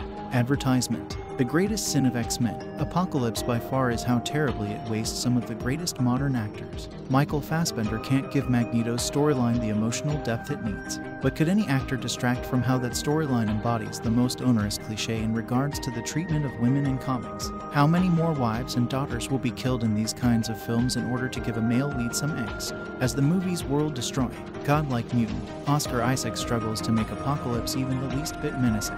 How can an actor as charismatic and dynamic as Isaac feel so torpid here? The failure to make Apocalypse engaging is mostly the fault of Simon Kinberg's script. He's operatic. World destroying villains don't seem to work on screen as they do in comics. Their motivations are, at best, confusing and nonsensical. They seem so disconnected from the world the heroes move through that they almost exist in entirely different films. Perhaps X Men Apocalypse also exhibits the worst traits of these sort of stories in the comics, which can be damningly inert, nihilistic and overcrowded on their own before even being adapted for the screen. Despite Apocalypse's backstory and grandstanding, he spends more time imbuing his four horsemen with power than wielding his own. Advertisement The rest of Apocalypse's team are the smug yet forgettable Angel, Psylocke, and a young Storm. None of these characters are all that interesting, but Psylocke and Storm embody the ways this entire series has failed its female characters. Psylocke is such a one dimensional villain, she seems two steps away from twirling a mustache. Singer and Kinberg are seemingly incapable of developing more than one female character at a time. There's also something deeply troubling about a series that trades in the language and ideas of the civil rights movement without caring one iota about its characters of color. Storm is once again given very little to do. She has none of the emotional interiority, swagger, or complexity of her comic counterpart. Jubilee is such a non factor she could be taken out entirely and nothing would change. Raven and Jean are slightly better served, but Jean's development is too inconsistent to leave much of an impact. Raven comes off far worse due to Lawrence's obvious disinterest in the role, coasting from scene to scene with none of her trademark charisma. When Raven reverts to her natural blue form, her performance somehow becomes even more unengaging. Advertisement While much has been made about how superhero films rely on the destruction of cities in order to make the stakes higher for heroes, X Men Apocalypse takes this idea to the next level with startling violence. It isn't just one city that hangs in the balance, it's the entire world. The destruction in the third act is so wide ranging, so cataclysmic, that it zaps the film of any tension. There is no sense of danger here, only the distinct feeling that nearly everyone involved is counting down the minutes until this whole affair is over. There is one scene involving the surprisingly fun Quicksilver that gives X Men Apocalypse one of its only visually interesting moments. He uses his super speed to traverse through Xavier's school, saving people from an explosion, as set to Sweet Dreams by the Eurythmics, a confounding music choice, to say the least. Singer finds some physical humor and levity in Quicksilver's ingenious ways of saving everyone. Advertisement. But it's the only scene in a film almost 150 minutes long that gets close to evoking the bright colored, zany nature the comics can delve into at their best. It isn't enough to save what proves to be an emotionally empty and morally confused film. X Men Apocalypse isn't just the low point in Singer's series, it represents one of the ugliest superhero films in recent memory. If you've seen one cinematic apocalypse, you've seen them all. At least that's the feeling conjured by X Men Apocalypse, the latest entry in one of the more reliable comic book franchises around, this time disappointingly succumbing to an exhausting case of been there done that-itis. Director Bryan Singer pioneered the contemporary wave of superhero movies with 2000 Seconds X Men, and made a welcome return to the series just two years ago with the time jumping Days of Future Past. Perhaps he should have quit while he was ahead, even though Apocalypse hardly reps the franchise natter. This is easily the least compelling, surprising, and satisfying of Singer's entries. While the best X Men movies are defined by their keen intelligence, casual wit, and deep reserves of emotion, Apocalypse serves those virtues up in minimal doses, settling for an extravagant display of visual effects that would have scarcely been possible 16 years ago. That should be enough to secure robust box office overseas, but domestic results could fall notably short of Future Past's sterling $234 million gross. The wild card in audience acceptance for this latest outing is the lack of fan favorite character Wolverine.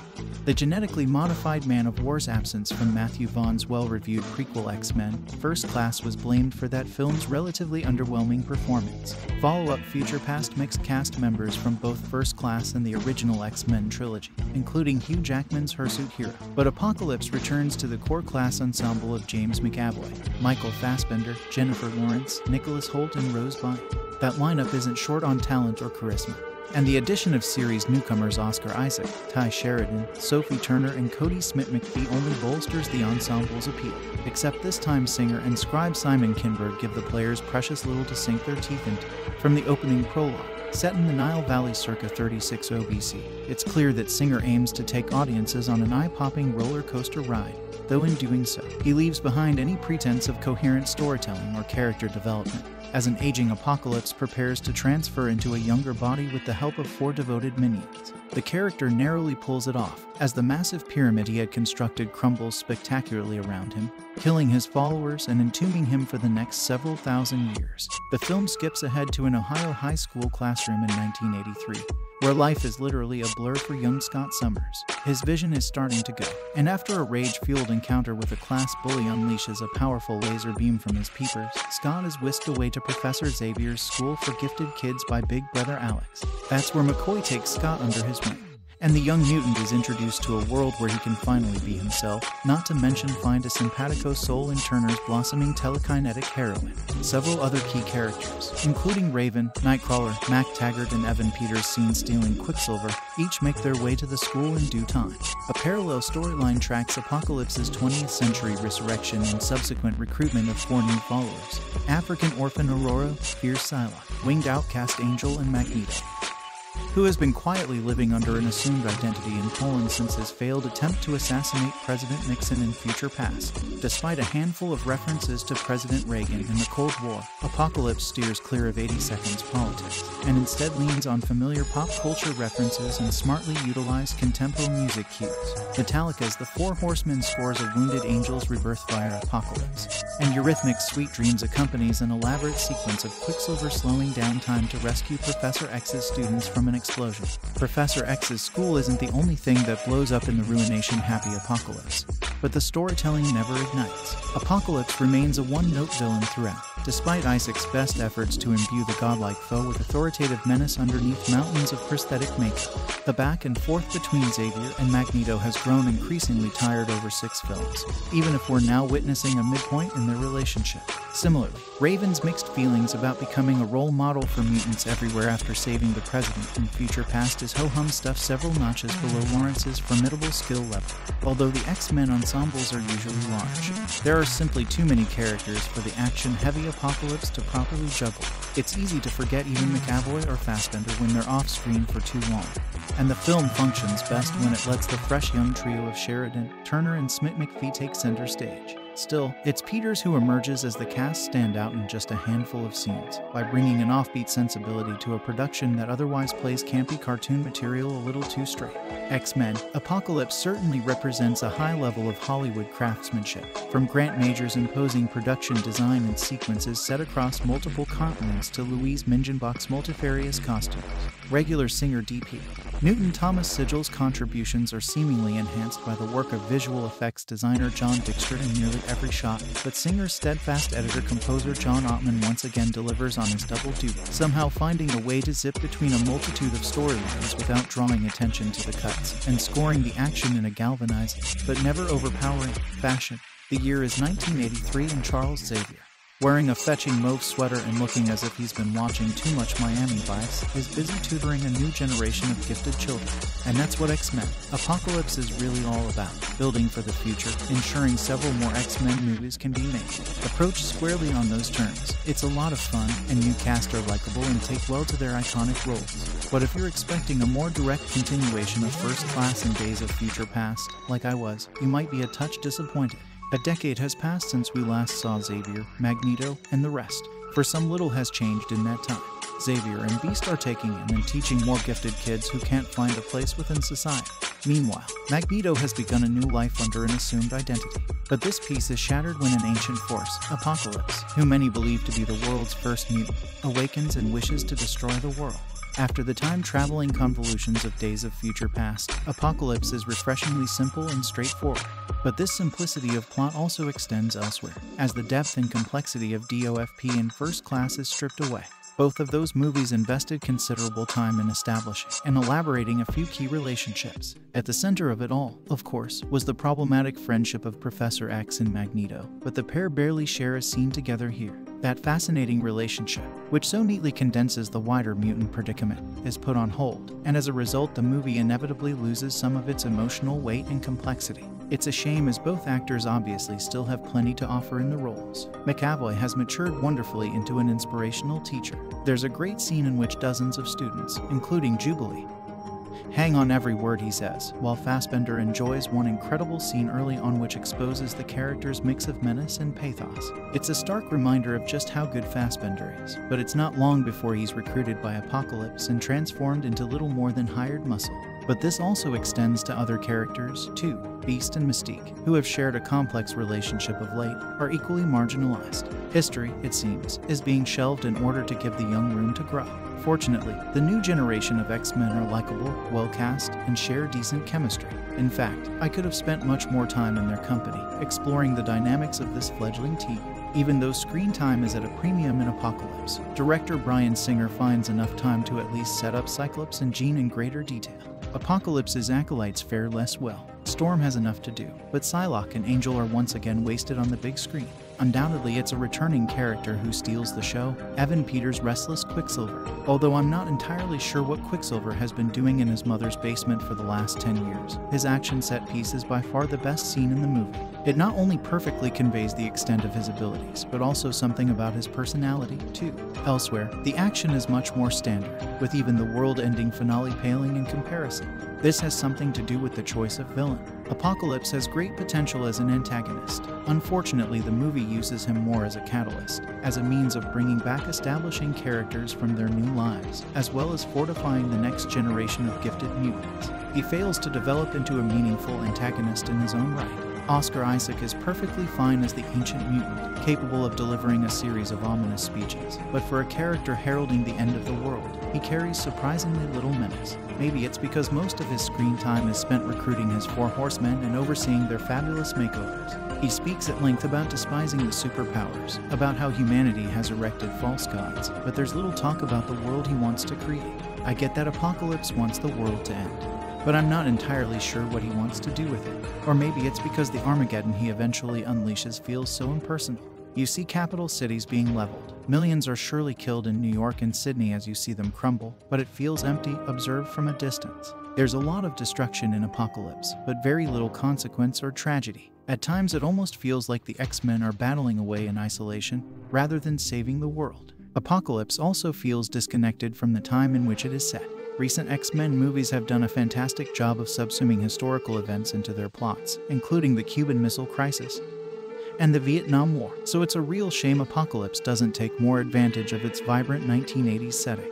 Mullets and leggings, and a couple of songs aside, this story could have played out in any era. X Men Apocalypse is a 2016 American superhero film directed and produced by Bryan Singer and written by Simon Kinberg from a story by Singer, Kinberg, Michael Dougherty, and Dan Harris. The film is based on the fictional X Men characters that appear in Marvel Comics. It is the sixth mainline installment in the X Men film series and the ninth installment overall. It is the sequel to X Men Days of Future Past and stars James McAvoy, Michael Fassbender, Jennifer Lawrence, Oscar Isaac, Nicholas Hoult, Rose Byrne, Tye Sheridan, Sophie Turner, Olivia Munn, and Lucas Till. In the film, the ancient mutant En Sabah Nur, Apocalypse is inadvertently revived in 1983, and he plans to wipe out modern civilization and take over the world, leading the X Men to try to stop him and defeat his team of mutants. The film was announced by Singer in December 2013, with Kinberg, Dougherty, and Harris attached to develop the story. Casting began in October 2014 while principal photography commenced in April 2015 in Montreal and ended in August of the same year. X Men Apocalypse premiered in London on May 9, 2016, and was released in the United States on May 27, 2016, in Real D 3D, IMAX 3D, 4DX, and Dolby Cinema formats by 20th Century Fox. The film received mixed reviews from critics. A sequel, titled Dark Phoenix, was released on June 7, 2019. Cast The cast of X Men Apocalypse at the 2015 San Diego Comic Con. From top to bottom, McAvoy, Fassbender, Lawrence, Isaac, Hoult, Munn, Peters, Smit-McPhee, Turner, Sheridan, Shipp, Condor, Till, and Hardy. James McAvoy as Professor Charles Xavier, a pacifist mutant and the world's most powerful telepath who is the founder of Xavier's School for Gifted Youngsters and leads the team of mutants known as the X Men in order to protect humankind and battle against the deadly enemy within. During the latter part of the film's production, McAvoy shaved his head for the role. Michael Fassbender is Eric Lehnsherr. Magneto, a mutant Auschwitz survivor with the ability to control magnetic fields and manipulate metal who was once Xavier's closest ally and best friend, until his belief that mankind and mutant kind would never coexist led to their separation. He is globally infamous for attempting to assassinate U.S. President Richard Nixon on live broadcast 10 years prior. Oh, Bill Milner appears in archival footage as a young Eric. Jennifer Lawrence as Raven, Mystique, a mutant with shapeshifting abilities, globally renowned for saving Nixon's life 10 years prior. She was once Xavier's closest ally and his adoptive sister. Lawrence said, She hears about what happened to Eric and she wants to seek him out and help him. Oscar Isaac is En Sabah Apocalypse, born in ancient times, and presumably the world's first mutant. He has a variety of destructive superhuman abilities, including telekinesis, cyberpathy, teleportation, and the ability to augment other mutants' abilities, as a result of being able to amass powers when transferring his consciousness from one body to another. Isaac described Nur as the creative slash destructive destructive force of the Earth. He added, When things start to go awry, or when things seem like they're not moving towards evolution, destroys those civilizations. Isaac had to go through extensive makeup and prosthetics applications, and wore high heeled boots to appear taller in a 40 pound suit. The full costume was uncomfortable, particularly in the humid environment of the outdoor scenes, which forced Isaac to go to a cooling tent between takes. Nur's previous old form was played by Berge Garabedian, a 70 year old Canadian real estate agent, an avid silver screen fan in his first credited film role. Nicholas Hoult is Hank McCoy, Beast, a mutant with leonine attributes, prehensile feet, and superhuman physical abilities. Hank acts as a teacher in Xavier's school and he builds inventions for troubled students. He also built the X Jet. Rose Byrne is Moira MacTaggert, a CIA operative who first met and fell in love with Xavier in first class, where he wiped portions of her memories of him and the X Men at the end. Simon Kinberg said they are essentially strangers when they meet in this film. Evan Peters is Peter Maximoff, Quicksilver, a mutant who can move, think, and perceive at hypersonic speeds, and the son of Magneto. Tye Sheridan is Scott Summers, Cyclops, a mutant who fires destructive optic beams and wears a ruby visor or sunglasses to stabilize and contain them, and who is the younger brother of Havoc. Sheridan describes Cyclops as angry and a bit lost. He added, he's now learning about being a mutant and trying to handle his powers. Sophie Turner is Jean Grey, a mutant who is scared of her telepathic and telekinetic power, and one of Charles Xavier's most prized students. Turner states that she was cast in the film because of the dark side of her character Sansa Stark in Game of Thrones. She compared Jean to Sansa and described being an outcast in the human world who struggles with her power and gift, the same way Sansa who wanted to live a normal life, felt. Turner learned archery in preparation for the role. Olivia Munn is Psylocke, a mutant with psionic abilities. Her abilities include projecting purple psychic energy, usually into the form of an energy blade that can burn through metal. Munn described Psylocke as very lethal, very powerful, and very strong. She practiced sword fighting in preparation for the role. Kodi Smit-McPhee is Kurt Wagner, Nightcrawler, a German teleporting mutant and one of Charles Xavier's new students. Singer said Nightcrawler is a source of comic relief. Alexandra Shipp is Ororo Munroe, Storm, a young mutant orphan who can control weather. Storm is discovered by Apocalypse in Cairo. Shipp partially shaved her head to sport a mohawk for the role. Lucas Till is Alex Summers, Havoc, a mutant who has the ability to absorb energy and release it with destructive force from his body, and the older brother of Cyclops. Josh Helman is Colonel William Stryker, a military officer who hates mutants and has, in the 10 years since Days of Future Past, been developing his own plans for resolving the mutant problem. Ben Hardy is Angel, a mutant with bird like feathered wings who gains metallic wings that can shoot razor sharp feather projectiles, similar to his Archangel counterpart in the comics. Hardy practiced indoor skydiving in preparation for his role. Lana Condor is Jubilee, a mutant student at Charles's school who has the ability to create sonic energy plasmoid. Discussing her first day on X Men Apocalypse, Condor says, I was very new and it was my first role. I'd never been on a set before or in front of a camera, so I didn't know what to expect. The first day we shot scenes in an 80 seconds themed mall with hundreds of extras and 80 seconds gear, plus crew and cameras. It was surreal. It's a lot easier when you have the costume, as that helps bring everything to life. She has her iconic yellow jacket, which is a staple. It's very bold and confident, like her. A lot of her costumes are super 80 seconds. I also listened to music from the 80 seconds and that helped. Additionally, Carolina Bartczak plays Magda Gursky, the wife of Eric Lehnsherr and mother of their mutant daughter Nina Gursky. Magda and Eric live happily in Poland together hidden away from the world. She and her daughter are killed when a militia comes looking for Eric after he accidentally exposes who he is while trying to save a coworker. Tomas Lemarquis portrays Caliban, a mutant with the ability to sense and track other mutants, and wrestler giant Gustav Claude Ouimet plays the Blob, Angel's opponent in an underground fight club. Monique Ganderton, Warren Scherer, Rochelle Okoye, and Fraser Aitcheson play Apocalypse's prior lieutenants, Death, Pestilence, Famine, and War respectively. Zehra Leverman reprised her role as Quicksilver's mother, Ms. Maximoff. Hugh Jackman makes an uncredited appearance as Logan, Wolverine in his Weapon X form. In that same scene, director Bryan Singer cameos as a guard who is killed by Wolverine as he attempts to escape the complex. X Men co creator Stan Lee and his wife Joan B. Lee make a cameo appearance together. As bystanders witnessing the launch of nuclear missiles worldwide, this was Joan's last film. Journalist Jessica Savage and actors Leslie Parrish and Michael Forest also appear in cameos. Production, development. The film was announced by Bryan Singer in December 2013 via Twitter, before Days of Future Past was released to theaters. In the same month, Simon Kinberg, Dan Harris, and Michael Dougherty were revealed by Singer to be attached to work on the film's story. According to Singer, the film would focus on the origin of the mutants and feature the younger versions of Cyclops, Jean Grey, and Storm. Singer also said that he was considering Gambit and a younger version of Nightcrawler to appear. According to Kinberg, it would take place in 1983 and completes a trilogy that began with 2011's X-Men First Class. In September 2014, 20th Century Fox officially announced that Singer would direct the film. Singer has called the film kind of a conclusion of six X Men films, yet a potential rebirth of younger, newer characters and the true birth of the X Men. Writing, it will address historical mutant side, meaning the deep past, mutant origins, and things like that. It's something that's always intrigued me when we think about our gods and our history and miracles and powers. Bryan Singer on what will be seen in X Men Apocalypse. Singer said that Apocalypse is the main focus of the film. Kinberg said that the younger versions of Scott Summers, Storm, and Jean Grey appearing in the film are as much a part of the film as the main cast. He described Summers as not yet the squeaky clean leader, Storm is a troubled character who is going down the wrong path in life, and Grey is complex, interesting, and not fully mature. Kinberg also said that the film delivers on the dramatic story and emotion of the last two films and that it acts like the culmination of the main characters portrayed by Lawrence, McAvoy, Fassbender, and Hoult. Kinberg said First Class, Days of Future Past. And Apocalypse formed a trilogy about Mystique, explaining. She starts in First Class entirely on Charles' side, ends up following Eric, and we then find her in Days of Future Past and she's on her own because Eric is gone.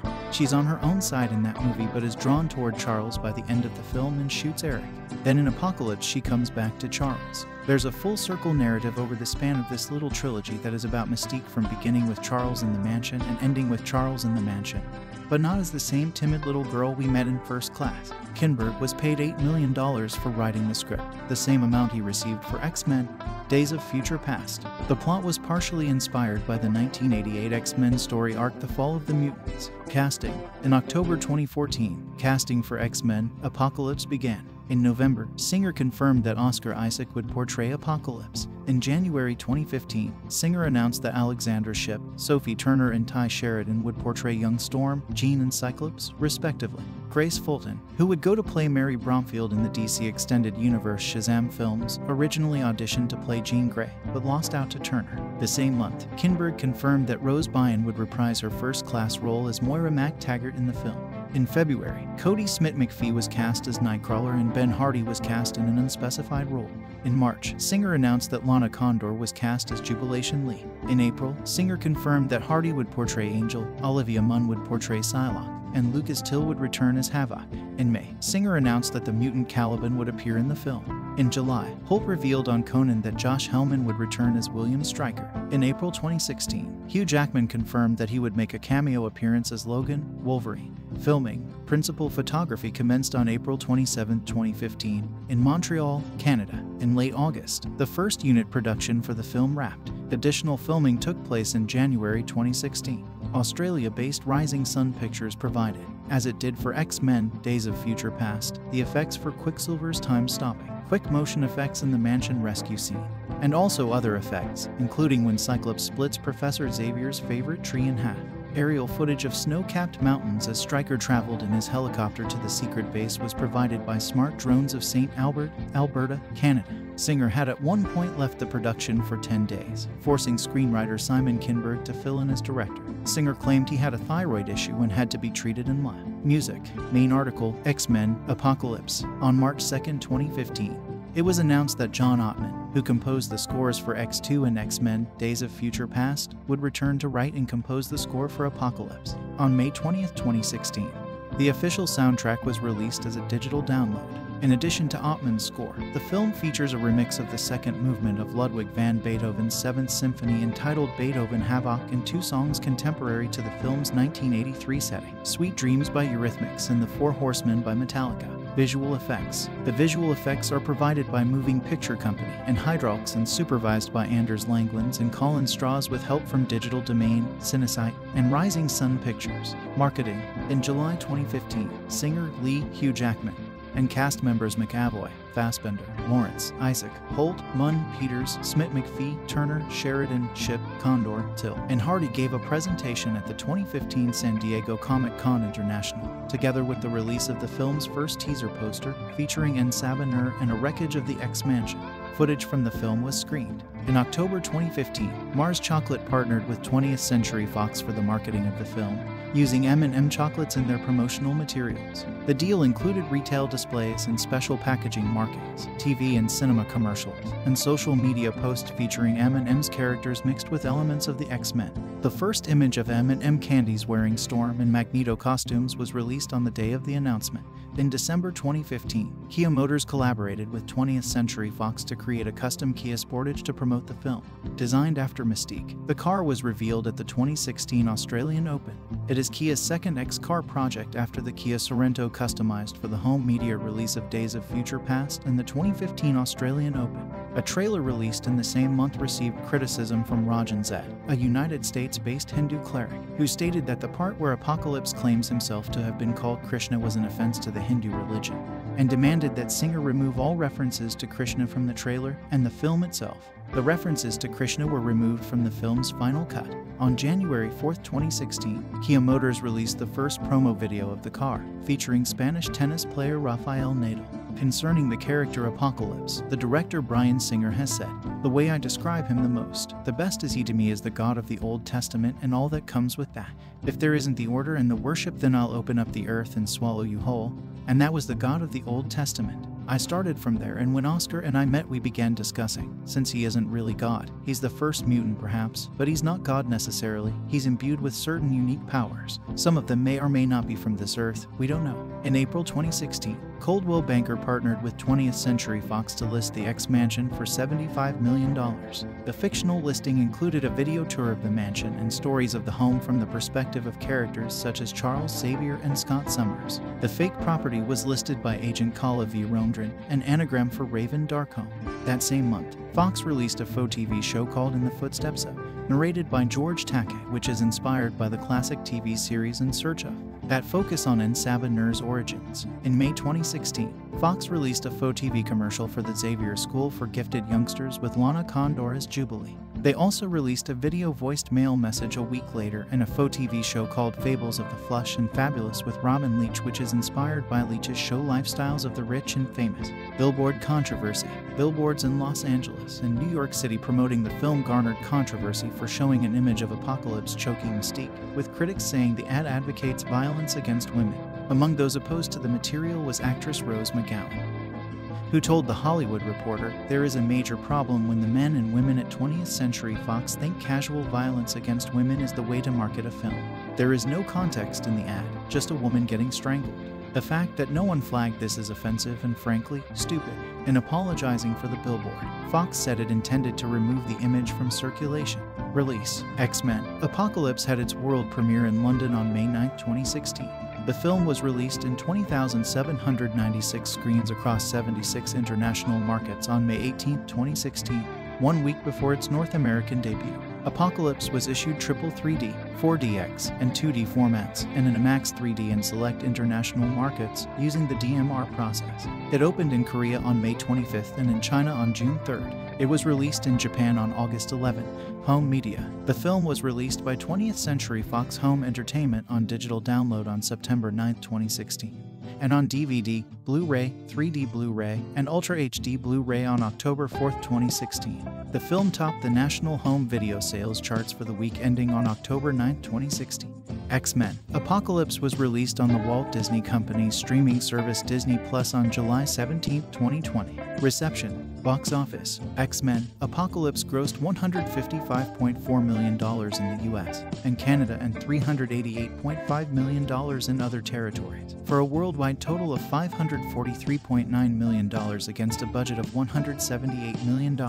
The film is the fourth highest grossing film in the X Men series, behind Deadpool, Logan, and X Men Days of Future Past. It made 27% less than Days of Future Past. X Men Apocalypse opened in the United States on May 27, 2016 alongside Alice Through the Looking Glass and was projected to gross around $80 million from 4,150 theaters in its opening weekend, and up to $100 million over the four day Memorial Day weekend. It made $8.2 million from Thursday previews at 3,565 theaters. On its opening day, it earned $26.4 million, the fourth lowest opening day amount of the franchise.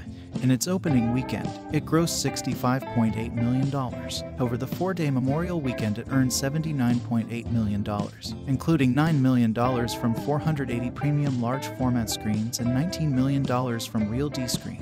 In its second weekend, the film grossed $22.3 million, finishing second at the box office behind Teenage Mutant Ninja Turtles Out of the Shadows. Elsewhere, X Men Apocalypse was released one week before the United States in 76 markets and grossed $101.5 million from 20,796 screens over the May 18th weekend. It debuted at number one in 71 of those markets, with IMAX contributing $5 million from 246 screens in 57 markets, while Real D took in $18.4 million.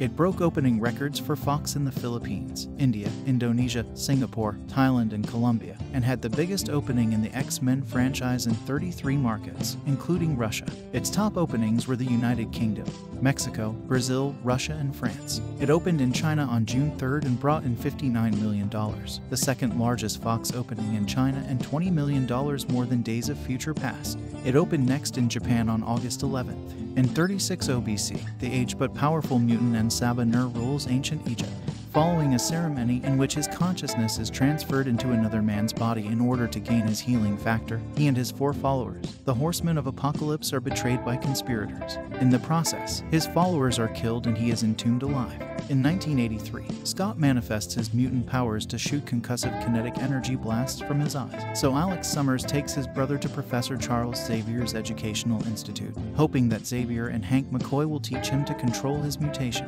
Scott meets the telepathic and telekinetic Jean Grey, and the two develop an attraction.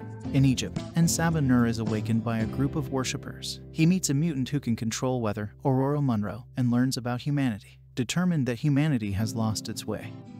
He plans to remake the world. Munroe becomes his follower after he enhances her power. In East Berlin, shape shifting mutant Raven discovers Kurt Wagner, a mutant who can teleport. Raven requests a black marketeer Caliban to transport Kurt to America. Then Sabah Nur recruits Psylocke and Angel and enhances both of their powers. Meanwhile, in communist Poland, Eric Lehnsherr lives happily with his wife and daughter during the worldwide disturbances caused by En Sabah Nur. Eric uses his powers to save a coworker during an earthquake, prompting the Polish police to capture him. They hold his daughter hostage in the forest in exchange for him to turn himself in. As tensions rise, Eric's daughter begins to display mutant powers, and the police accidentally kill his wife and daughter in the ensuing confusion. In despair, Eric kills the police, and Nur finds Eric and takes him back to Auschwitz. He shows him the true extent of his powers. Eric destroys the camp and joins in Nur. When Xavier contacts Eric, En Sabah Nur remotely accesses Cerebro, the device Xavier uses to locate mutants, and forces Xavier to make countries launch their nuclear arsenals into space to prevent interference. He and his four horsemen arrive at the mansion and kidnap Xavier. Alex attempts to stop them but causes an explosion that destroys the mansion. Peter Maximoff arrives and uses his super speed to evacuate everyone except Alex, who is killed in the explosion. Colonel William Stryker's forces capture Hank. Raven, Peter, and Moira and take them for interrogation. Scott, Jean, and Kurt secretly follow them and liberate their comrades using Stryker's experiment Weapon X, whose memories Jean partially restores. Eric uses his powers to alter the Earth's magnetic field, causing destruction across the planet, and Nur plans to transfer his consciousness into Xavier's body to gain his psychic powers. Xavier sends a telepathic distress call to Jean and the others, who travel to Cairo to battle in Nur and his four horsemen. They rescue Xavier and flee in a plane. When Angel and Psylocke attack the plane, Nightcrawler teleports his friends away. Psylocke manages to jump safely, but Angel is killed in the plane crash. Eric and Aurora turn on En Sabah Nur, with Scott's help, keep him occupied physically while Xavier fights him telepathically in the astral plane. Xavier begs Jean to unleash the full strength of her abilities, and she incinerates En Sabah Nur. Psylocke escapes. Xavier and Moira rekindle their relationship. Eric and Jean help reconstruct the school, but Eric turns down Xavier's offer to stay and help teach. Peter decides not to tell Eric yet that he is Eric's son, using confiscated sentinels. Hank and Raven train the new X-Men recruits, Scott, Jean, Aurora, Kurt, and Peter. In a post-credit scene, men in black suits visit the Weapon X facility to retrieve an X-ray and a blood sample marked Weapon X on behalf of the Essex Corporation. The superhero genre has gone through dramatic changes since Bryan Singer directed X Men in 2000, and now finds itself in a precarious place. The city level destruction that characterizes so many third acts has become visually rote and morally abhorrent. And how many more movies can we handle about white men given great power who churn out jokes and punches with equal aplomb? The genre desperately needs to diversify not just in terms of race and gender, but also the kinds of stories on which filmmakers choose to focus. X Men Apocalypse should be a corrective measure, considering its ensemble allows for the opportunity to focus on popular female and people of color characters. Instead, it magnifies all the worst issues of the genre, serving up a story that would have felt dated five years ago. Advertisement X Men Apocalypse is a confused, bloated mess of a film. There are several films crammed into one, all battling for the spotlight, and none of them wholly work. There is really no central storyline or heart to the film. The first hour is almost entirely in service of setting up new players and establishing what the veterans are up to. Charles Xavier, Professor X is successfully running his school for mutant kids. Raven Darkholme, Mystique is rescuing mutants, including the walking punchline Nightcrawler on her own, and struggling with being seen as a hero. Then there are the teenage Scott Summers, Cyclops, and Jean Grey who are struggling to cope with their powers and fledgling attraction to each other. Sheridan and Turner seem to actually be enjoying themselves, but their development staggers under the weight of everything else going on around them. Jean grappling with the dark side of her abilities is especially fertile ground. One of the few evocative scenes involves her having a nightmare which rocks the school and burns the walls of her room before Xavier comforts her. Even though she gets a big hero moment at the end, it doesn't land well given how poorly she's developed. Singer doesn't offer the scant interesting moments enough room to breathe. He's too interested in hurtling to the next plot point, the next introduction, the next fight scene. Advertisement The greatest sin of X Men, Apocalypse by far is how terribly it wastes some of the greatest modern actors. Michael Fassbender can't give Magneto's storyline the emotional depth it needs, but could any actor distract from how that storyline embodies the most onerous cliche in regards to the treatment of women in comics? How many more wives and daughters will be killed in these kinds of films in order to give a male lead some eggs?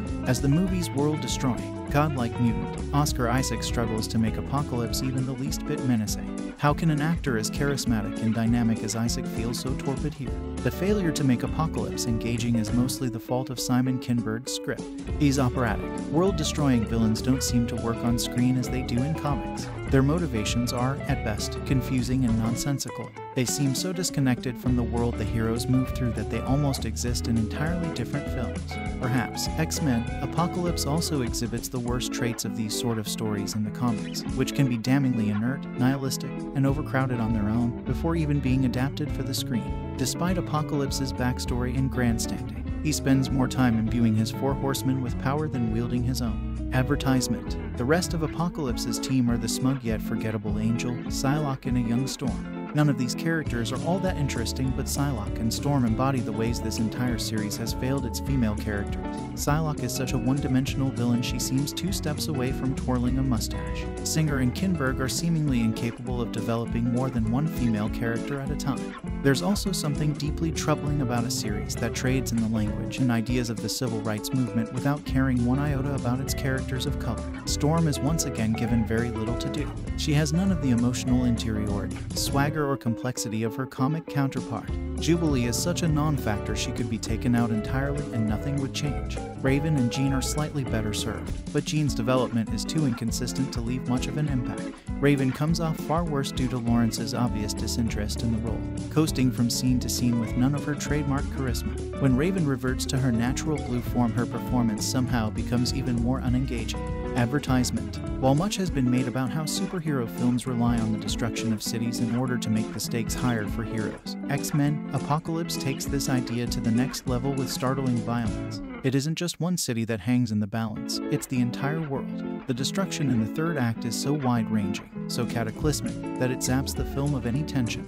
There is no sense of danger here, only the distinct feeling that nearly everyone involved is counting down the minutes until this whole affair is over. There is one scene involving the surprisingly fun Quicksilver that gives X Men Apocalypse one of its only visually interesting moments. He uses his super speed to traverse through Xavier's school, saving people from an explosion, as set to Sweet Dreams by the Eurythmics, a confounding music choice, to say the least. Singer finds some physical humor and levity in Quicksilver's ingenious ways of saving everyone. Advertisement. But it's the only scene in a film almost 150 minutes long that gets close to evoking the bright colored, zany nature the comics can delve into at their best. It isn't enough to save what proves to be an emotionally empty and morally confused film.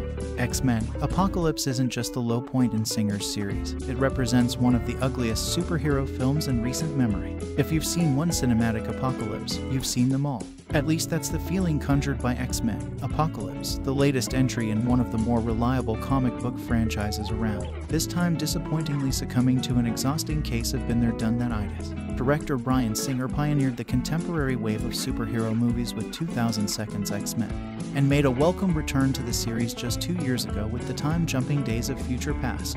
Perhaps he should have quit while he was ahead, even though Apocalypse hardly reps the franchise nadir. This is easily the least compelling, surprising, and satisfying of Singer's entries. While the best X Men movies are defined by their keen intelligence, casual wit, and deep reserves of emotion, Apocalypse serves those virtues up in minimal doses, settling for an extravagant display of visual effects that would have scarcely been possible 16 years ago. That should be enough to secure robust box office overseas, but domestic results could fall notably short of Future Past's sterling $234 million gross. The wild card in audience acceptance for this latest outing is the lack of fan favorite character Wolverine.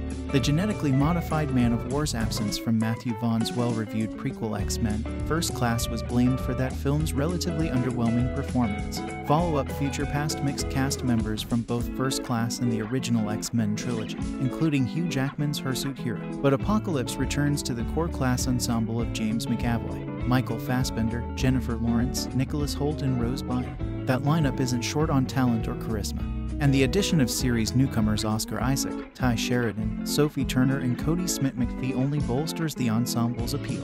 Except this time singer and scribe Simon Kinberg give the players precious little to sink their teeth into. From the opening prologue, set in the Nile Valley circa 36 BC, it's clear that Singer aims to take audiences on an eye-popping roller coaster ride, though in doing so, he leaves behind any pretense of coherent storytelling or character development as an aging apocalypse prepares to transfer into a younger body with the help of four devoted minions. The character narrowly pulls it off, as the massive pyramid he had constructed crumbles spectacularly around him, killing his followers and entombing him for the next several thousand years. The film skips ahead to an Ohio high school classroom in 1983 where life is literally a blur for young Scott Summers. His vision is starting to go, and after a rage fueled encounter with a class bully unleashes a powerful laser beam from his peepers, Scott is whisked away to Professor Xavier's School for Gifted Kids by Big Brother Alex. That's where McCoy takes Scott under his wing and the young mutant is introduced to a world where he can finally be himself, not to mention find a simpatico soul in Turner's blossoming telekinetic heroine. Several other key characters, including Raven, Nightcrawler, MacTaggert, and Evan Peters seen stealing Quicksilver,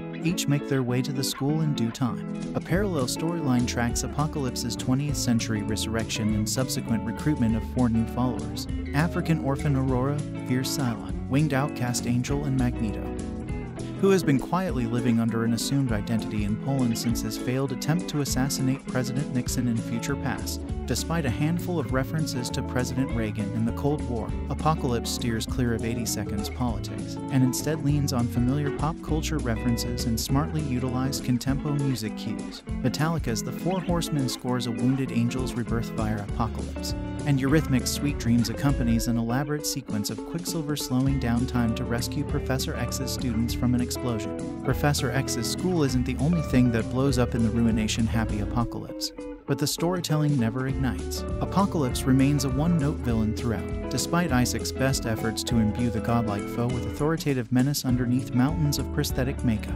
The back and forth between Xavier and Magneto has grown increasingly tired over six films, even if we're now witnessing a midpoint in their relationship. Similarly, Raven's mixed feelings about becoming a role model for mutants everywhere after saving the president in Future Past is ho hum stuff several notches below Lawrence's formidable skill level, although the X Men ensembles are usually large. There are simply too many characters for the action heavy apocalypse to properly juggle. It's easy to forget even McAvoy or Fassbender when they're off screen for too long and the film functions best when it lets the fresh young trio of Sheridan, Turner, and Smit-McPhee take center stage. Still, it's Peters who emerges as the cast standout in just a handful of scenes, by bringing an offbeat sensibility to a production that otherwise plays campy cartoon material a little too straight.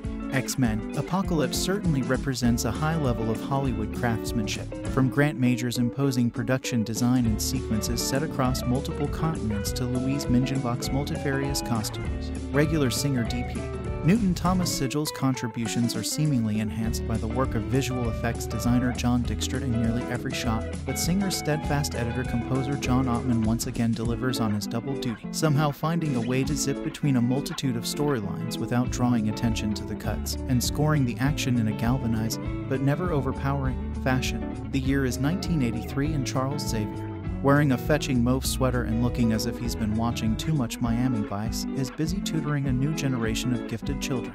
And that's what X Men Apocalypse is really all about building for the future, ensuring several more X Men movies can be made. Approach squarely on those terms. It's a lot of fun, and new cast are likable and take well to their iconic roles. But if you're expecting a more direct continuation of First Class and Days of Future Past, like I was, you might be a touch disappointed. A decade has passed since we last saw Xavier, Magneto, and the rest, for some little has changed in that time. Xavier and Beast are taking in and teaching more gifted kids who can't find a place within society. Meanwhile, Magneto has begun a new life under an assumed identity. But this peace is shattered when an ancient force, Apocalypse, who many believe to be the world's first mutant, awakens and wishes to destroy the world. After the time traveling convolutions of Days of Future Past, Apocalypse is refreshingly simple and straightforward. But this simplicity of plot also extends elsewhere, as the depth and complexity of DOFP in First Class is stripped away. Both of those movies invested considerable time in establishing and elaborating a few key relationships. At the center of it all, of course, was the problematic friendship of Professor X and Magneto, but the pair barely share a scene together here. That fascinating relationship, which so neatly condenses the wider mutant predicament, is put on hold, and as a result, the movie inevitably loses some of its emotional weight and complexity. It's a shame as both actors obviously still have plenty to offer in the roles. McAvoy has matured wonderfully into an inspirational teacher. There's a great scene in which dozens of students, including Jubilee, hang on every word he says, while Fassbender enjoys one incredible scene early on which exposes the character's mix of menace and pathos. It's a stark reminder of just how good Fassbender is, but it's not long before he's recruited by Apocalypse and transformed into little more than hired muscle. But this also extends to other characters, too. Beast and Mystique, who have shared a complex relationship of late, are equally marginalized. History, it seems, is being shelved in order to give the young room to grow. Fortunately, the new generation of X Men are likable, well cast, and share decent chemistry. In fact, I could have spent much more time in their company, exploring the dynamics of this fledgling team. Even though screen time is at a premium in Apocalypse, director Bryan Singer finds enough time to at least set up Cyclops and Jean in greater detail. Apocalypse's acolytes fare less well. Storm has enough to do, but Psylocke and Angel are once again wasted on the big screen. Undoubtedly, it's a returning character who steals the show, Evan Peters' restless Quicksilver. Although I'm not entirely sure what Quicksilver has been doing in his mother's basement for the last 10 years. His action set piece is by far the best scene in the movie. It not only perfectly conveys the extent of his abilities, but also something about his personality, too. Elsewhere, the action is much more standard with even the world ending finale paling in comparison. This has something to do with the choice of villain. Apocalypse has great potential as an antagonist. Unfortunately, the movie uses him more as a catalyst, as a means of bringing back establishing characters from their new lives, as well as fortifying the next generation of gifted mutants. He fails to develop into a meaningful antagonist in his own right. Oscar Isaac is perfectly fine as the ancient mutant, capable of delivering a series of ominous speeches. But for a character heralding the end of the world, he carries surprisingly little menace. Maybe it's because most of his screen time is spent recruiting his four horsemen and overseeing their fabulous makeovers. He speaks at length about despising the superpowers, about how humanity has erected false gods, but there's little talk about the world he wants to create. I get that Apocalypse wants the world to end, but I'm not entirely sure what he wants to do with it. Or maybe it's because the Armageddon he eventually unleashes feels so impersonal. You see capital cities being leveled. Millions are surely killed in New York and Sydney as you see them crumble, but it feels empty, observed from a distance. There's a lot of destruction in Apocalypse, but very little consequence or tragedy. At times, it almost feels like the X Men are battling away in isolation rather than saving the world. Apocalypse also feels disconnected from the time in which it is set. Recent X Men movies have done a fantastic job of subsuming historical events into their plots, including the Cuban Missile Crisis and the Vietnam War, so it's a real shame Apocalypse doesn't take more advantage of its vibrant 1987. Mullets and leggings, and a couple of songs aside, this story could have played out in any era.